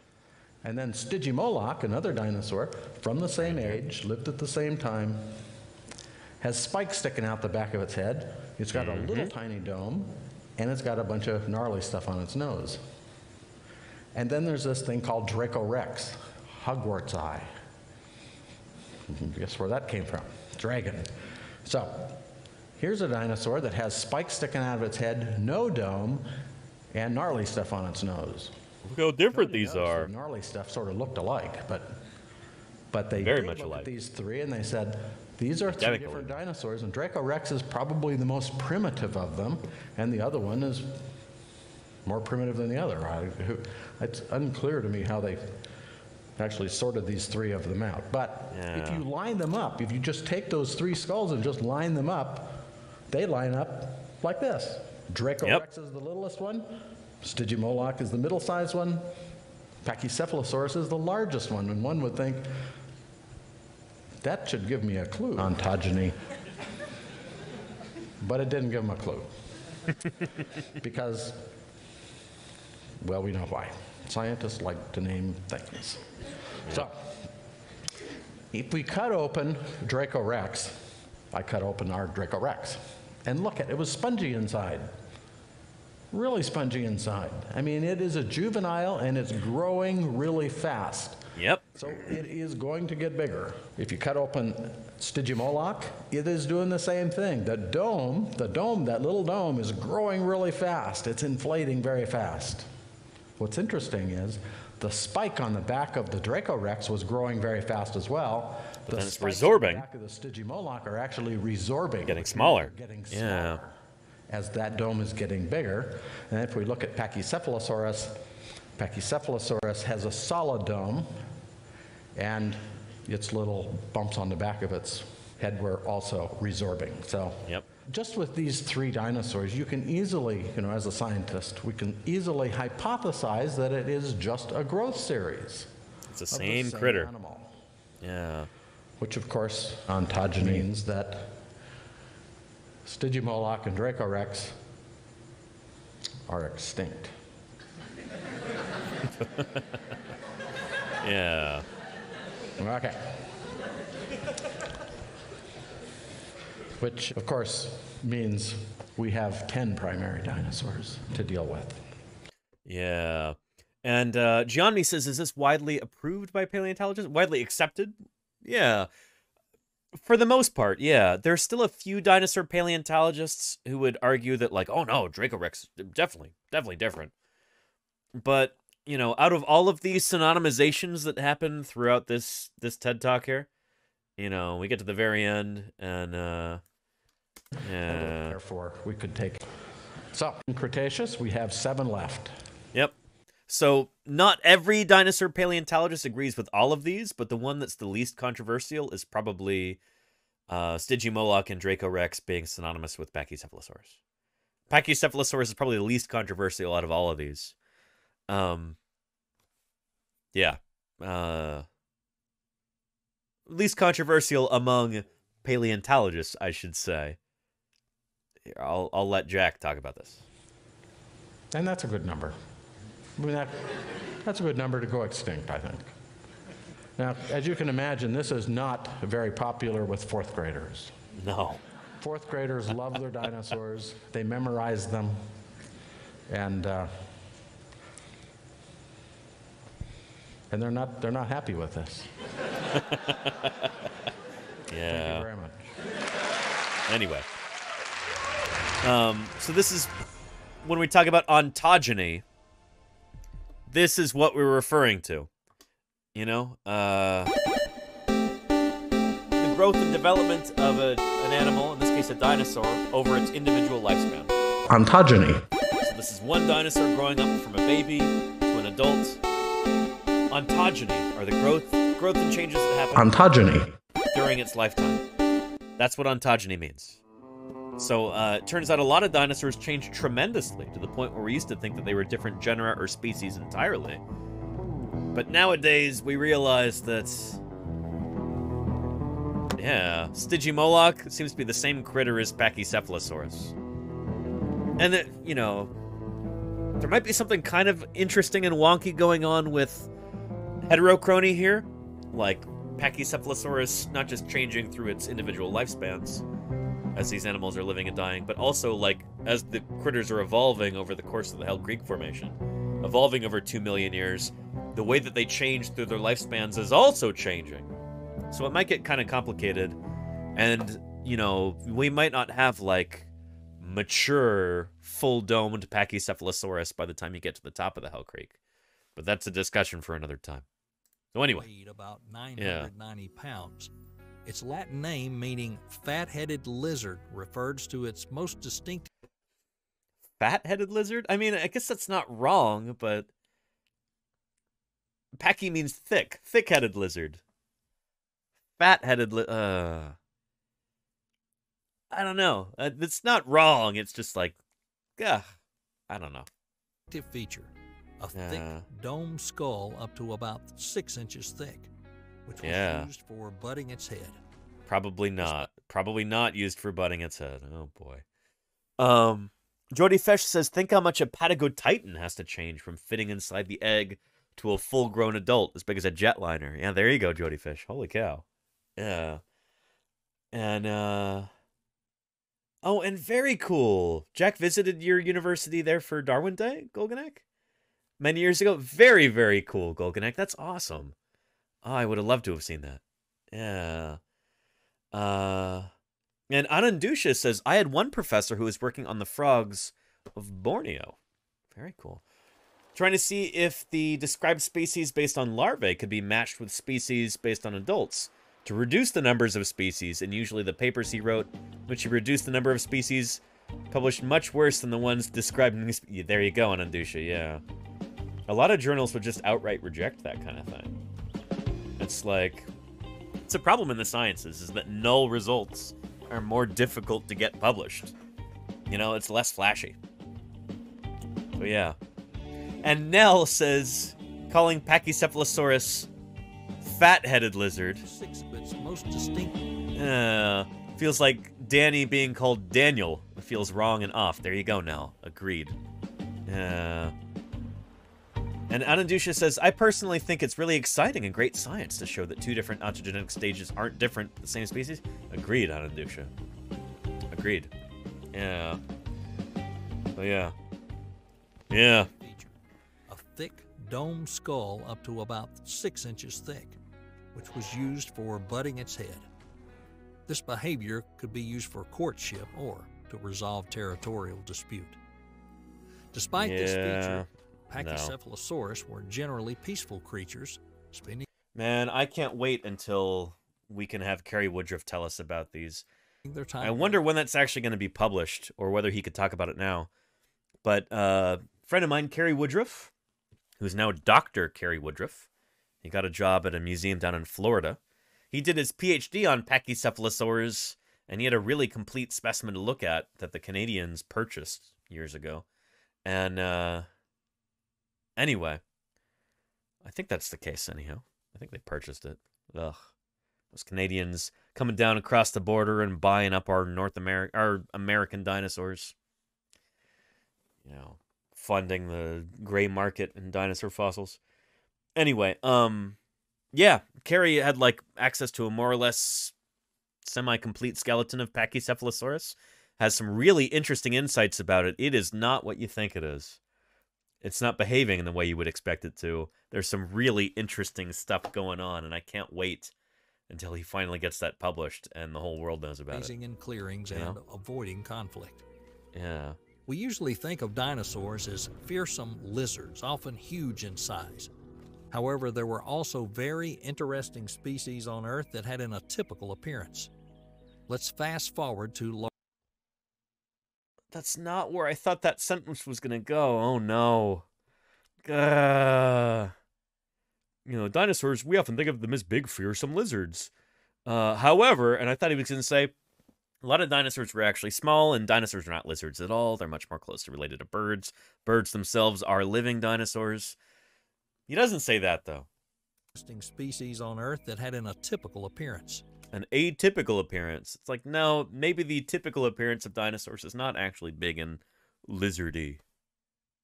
Uh, this whole thing was written by an AI, wasn't it? Let's Ugh. fast forward to Laurasia, the second fragment of the once unified supercontinent Pangaea. In the dense primeval forest of the early Cretaceous period, there was a small feathered dinosaur known as Archaeopteryx. We talked about this already. Archaeopteryx is not from the Cretaceous period. Archaeopteryx is from the Jurassic. Oh boy! And again, this is not me nitpicking. They, they specifically say Cretaceous here. Look, supercontinent Pangaea. In the dense primeval forest of the early Cretaceous period, again, early Cretaceous. period, there was a small feathered dinosaur known as Archaeopteryx. Archaeopteryx is from the Jurassic. Oh boy. There you go, Jody Fish. 11 inches of classic Jurassic. There you go, Jody Fish. Uh, in Snowfall, why am I subjecting myself to this? I honestly didn't think it was going to be this bad. I didn't know what I was getting myself into, you know? So now we're just we're just powering our way through. I'm not going to finish this video today. It is way too long. It's 31 minutes long. I'm not even 10 minutes into it. Um yeah. Archaeopteryx was the size of a crow. It was one of the first birds to evolve from small feathered theropods, and it spent its days hunting insects and small reptiles among the branches of the ancient trees. Okay. The discovery of Archaeopteryx dates That's a good back skeleton. To the late 1850s. when a Ooh. German Or at least it's not terrible terrible. I don't know what's up with the furcula there. the discovery Yeah, that wishbone is not in the right place, but I'm like kind of impressed that that they yeah. Where did they get this from? Of Archaeopteryx dates back to the late 1850s when a German farmer named Jacob Niemeyer discovered a fossilized feather in the Solnhofen limestone formation in Bavaria, Germany. Yeah. Over subsequent decades, more complete samples were found. The discovery of Archaeopteryx yeah. was significant because it presented the scientific world with the first clear evidence of an evolutionary. So this is not Archaeopteryx here. This is like Patagopteryx or some. This is like some sort of an antiornithian bird. Maybe it's got a beak. Uh, because it presented the scientific world with the first clear evidence of an evolutionary link between birds and dinosaurs. Sure, This unique that's true. combination of bird and reptile characteristics such as feathers and the wishbone challenged the conventional view of birds as a separate group of animals. okay, yeah, Meanwhile, that much is in true. a different end of the same woods, there was a chase. Leptoceratops, a cerat- No! Oh my goodness. Don't you bring my beautiful Leptoceratops into this. Also, that's not a great Leptoceratops there. yeah. So, again, there is more time separating Archaeopteryx from Leptoceratops than there is separating Leptoceratops from us. Leptoceratops is closer in time to us in the present than it is to Archaeopteryx. Leptoceratops is from the end of the of the the Cretaceous period. It's from like the Hell Creek Formation of Montana and maybe the Scollard Formation of of Canada. Um. Uh, completely wrong. And this is a lousy Leptoceratops reconstruction too. This is not good. Smorf draws a great Leptoceratops. This is true, Lenina. Let me pull that up. Smorphosaurus did a, a lovely Leptoceratops for us. Uh, for uh, for the holidays.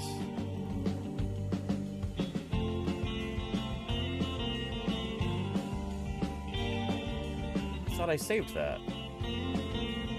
Well, it'll be in my email at least. Um,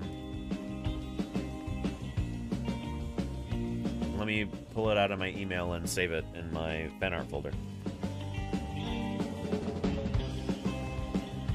There we go.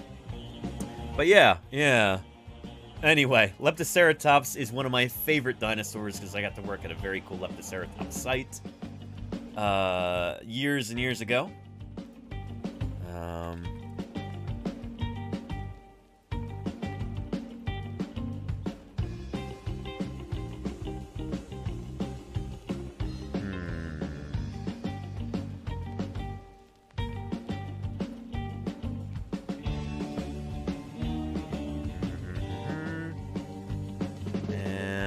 We go. From Smorf, let's... Oh, that's why. Let me screen... Well, let me just show you. A beautiful Leptoceratops. See how Smorphosaurus is captured uh, how big the head is and how tall the tail is also. These guys have very tall neural spines on their tails. Um, yeah. That's, uh... Used a picture as a reference. Nice, Smurf, yeah. Well, you did better than whoever made this. Ugh. Ugh. Yeah, yours is a million times better than that. Holy cow. Ceratopsian dinosaur was being pursued by a predator. Leptoceratops had a compact and agile. What is this? Uh, uh, garbage. This is terrible. This this might even supposed to be Yinlong instead of Leptoceratops. Anyway, terrible, terrible. body, which was easily maneuvered, relying Uh. on four legs. In Greek, Leptoceratops meant thin horned face. This animal had a sharp beak, a small frill on the back of the head, and a short horn on the nose. Yeah, that's really not a great. Anyway, yeah. It was about six and a half feet long and weighed approximately 330 pounds. Since this herbivorous dinosaur was relatively small, it could easily fall prey to other predators.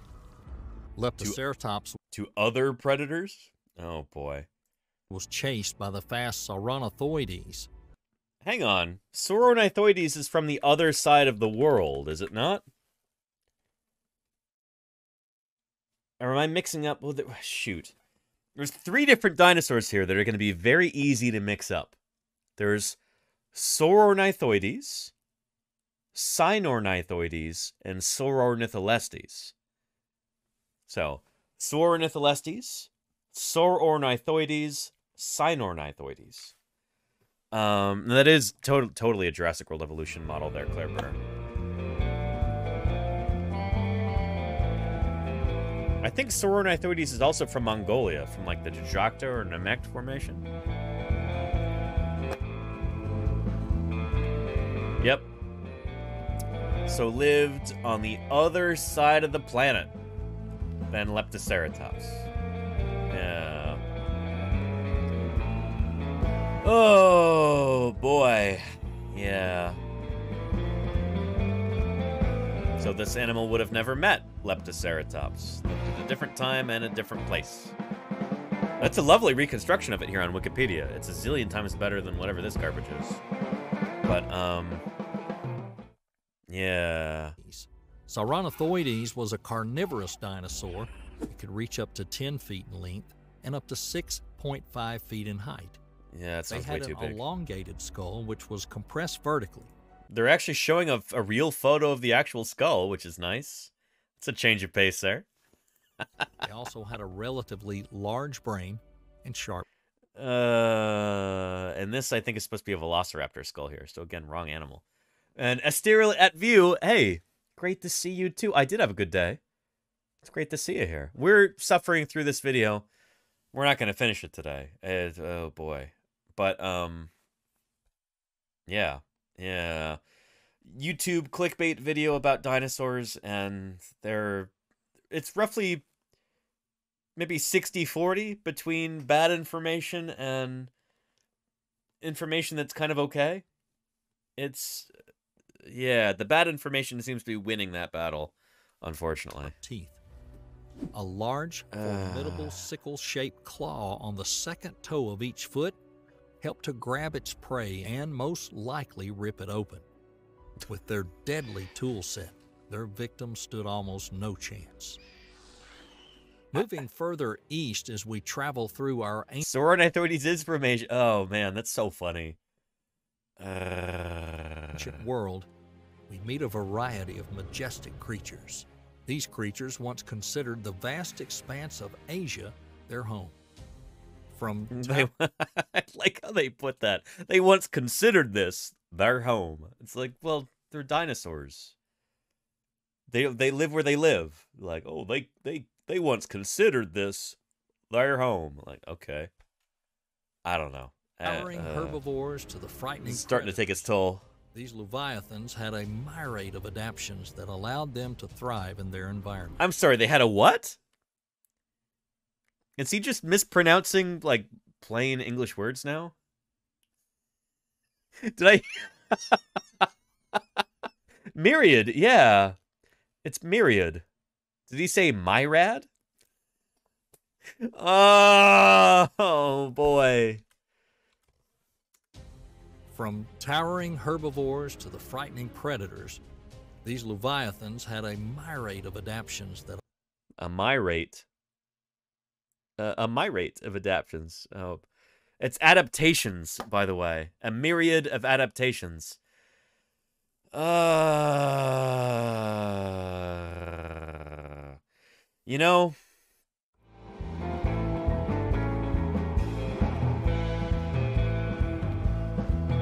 I'm not going to give you the link to this. I don't. I don't want people to to harass this channel comments or anything. That's not what I'm trying to do here. That's not what I'm trying to provoke. I guess if we can take one lesson from this, or maybe a couple of lessons from this, what have we learned today? We certainly didn't didn't learn anything new and interesting about dinosaurs. Most of that information was garbage. Um, if there's a, some take-home lessons here, I think they are as follows. Number one, any information that you see in like a random YouTube video like that about dinosaurs very well might be incorrect. So don't trust it outright, you know? Number two, the bar for like creating YouTube videos like this is really, really low, and they could have gotten just about all this stuff right if they just consulted somebody who knows a thing or two about dinosaurs. You know, emailed an undergraduate in paleontology at a university or something like that and say, hey, undergrad student, could you look over this script and, you know, you could fix it for us? It Would have been really, really simple. Um, yeah. I think another lesson is that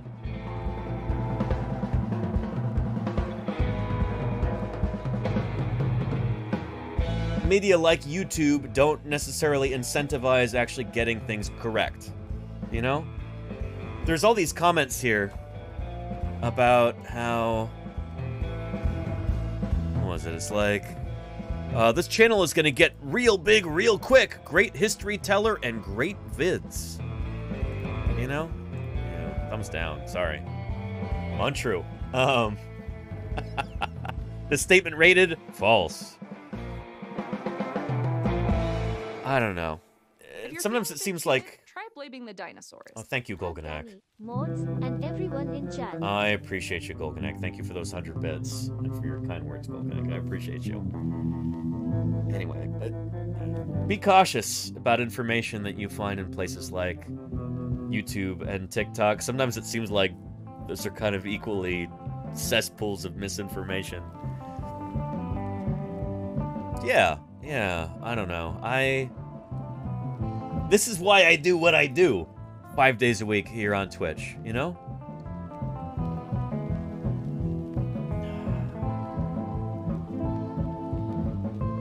The whole reason that I devote so much time to outreach is because the world needs that.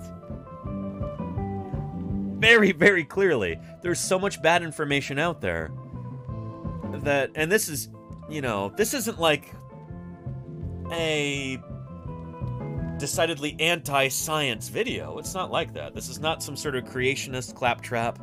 This is not some sort of like flat earth or like dinosaur denier video where they're like, well, dinosaurs are actually made up and the scientists buried those bones to fool us or whatever. This isn't even like that. Like, this is purporting to be, you know, a video that's excited about dinosaurs and eager to tell you cool things about them. And they keep getting all these things wrong. We need more good science outreach in the world. We need more scientists actually talking to the general public and yeah, trying to get good at doing that too because just being a scientist doesn't necessarily make you a good science communicator. It takes work, it takes practice, it takes a lot of effort and thoughtfulness to be able to to produce good science outreach, to be able to talk to people about science in a way that engages them and teaches them and gets them to care about what you're talking about. And I'm still learning how to do that, frankly. You know? I've been extremely lucky to be able to have this community here on Twitch, have this platform to be able to talk to people about fossils. And, you know, I'm trying to fight the good fight, trying to get people excited about natural history, trying to give them good information about dinosaurs in particular. So, thank you everybody who helps me do that on a daily basis by subscribing and watching and everything else. So, yeah, with that said, here's our late Jurassic, not Cretaceous, bird Archaeopteryx. We're going to run our credits over this. And we're going to wrap up today's broadcast. So, how's that? Yeah. Uh, anyway. Ice Clop says it's high res bad information. There you go, Ice Clop. Yeah. Oh no. Yeah. Ananducia says YouTube is more about entertainment than education. Isn't that true? It's true of all social media. And science is hard. Science communication as well. After all, you need to be good at sciencing and communicating. Anna Dusha, it's rare, a rare confluence of skills there. And I'm, I'm working hard to try and do that, but yeah. Anyway, I work hard every day, and hopefully I'm getting through to some people. You know. Thank you to everybody whose names are showing up here in the chat. I appreciate you more than you know. All of your ongoing support and your enthusiasm, your questions, your moderating moderators. I appreciate you. It's great to have you back, Claire Burr and Lenina. Mirror Space, wonderful to have you here. Thank you everybody for helping make this stream what it is, you know? Uh, we are gonna go take a look, holy cow, at some modern dinosaurs here.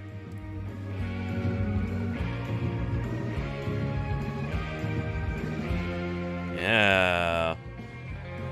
From Archaeopteryx here to some modern dinosaurs, some owls. They got some new cameras here at Hoot House live streams.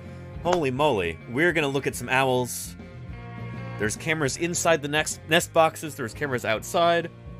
We'll be able to watch owls come back and forth, bringing food to their babies. This is really, really neat. You can even vote to name the hatchlings. This is to be really cool. Anyway, everybody, thank you, thank you for another wonderful stream. I hope you enjoyed, hope you learned something. Thanks for sticking with me through those technical difficulties when OBS crashed. We are going to go say hello to some owls.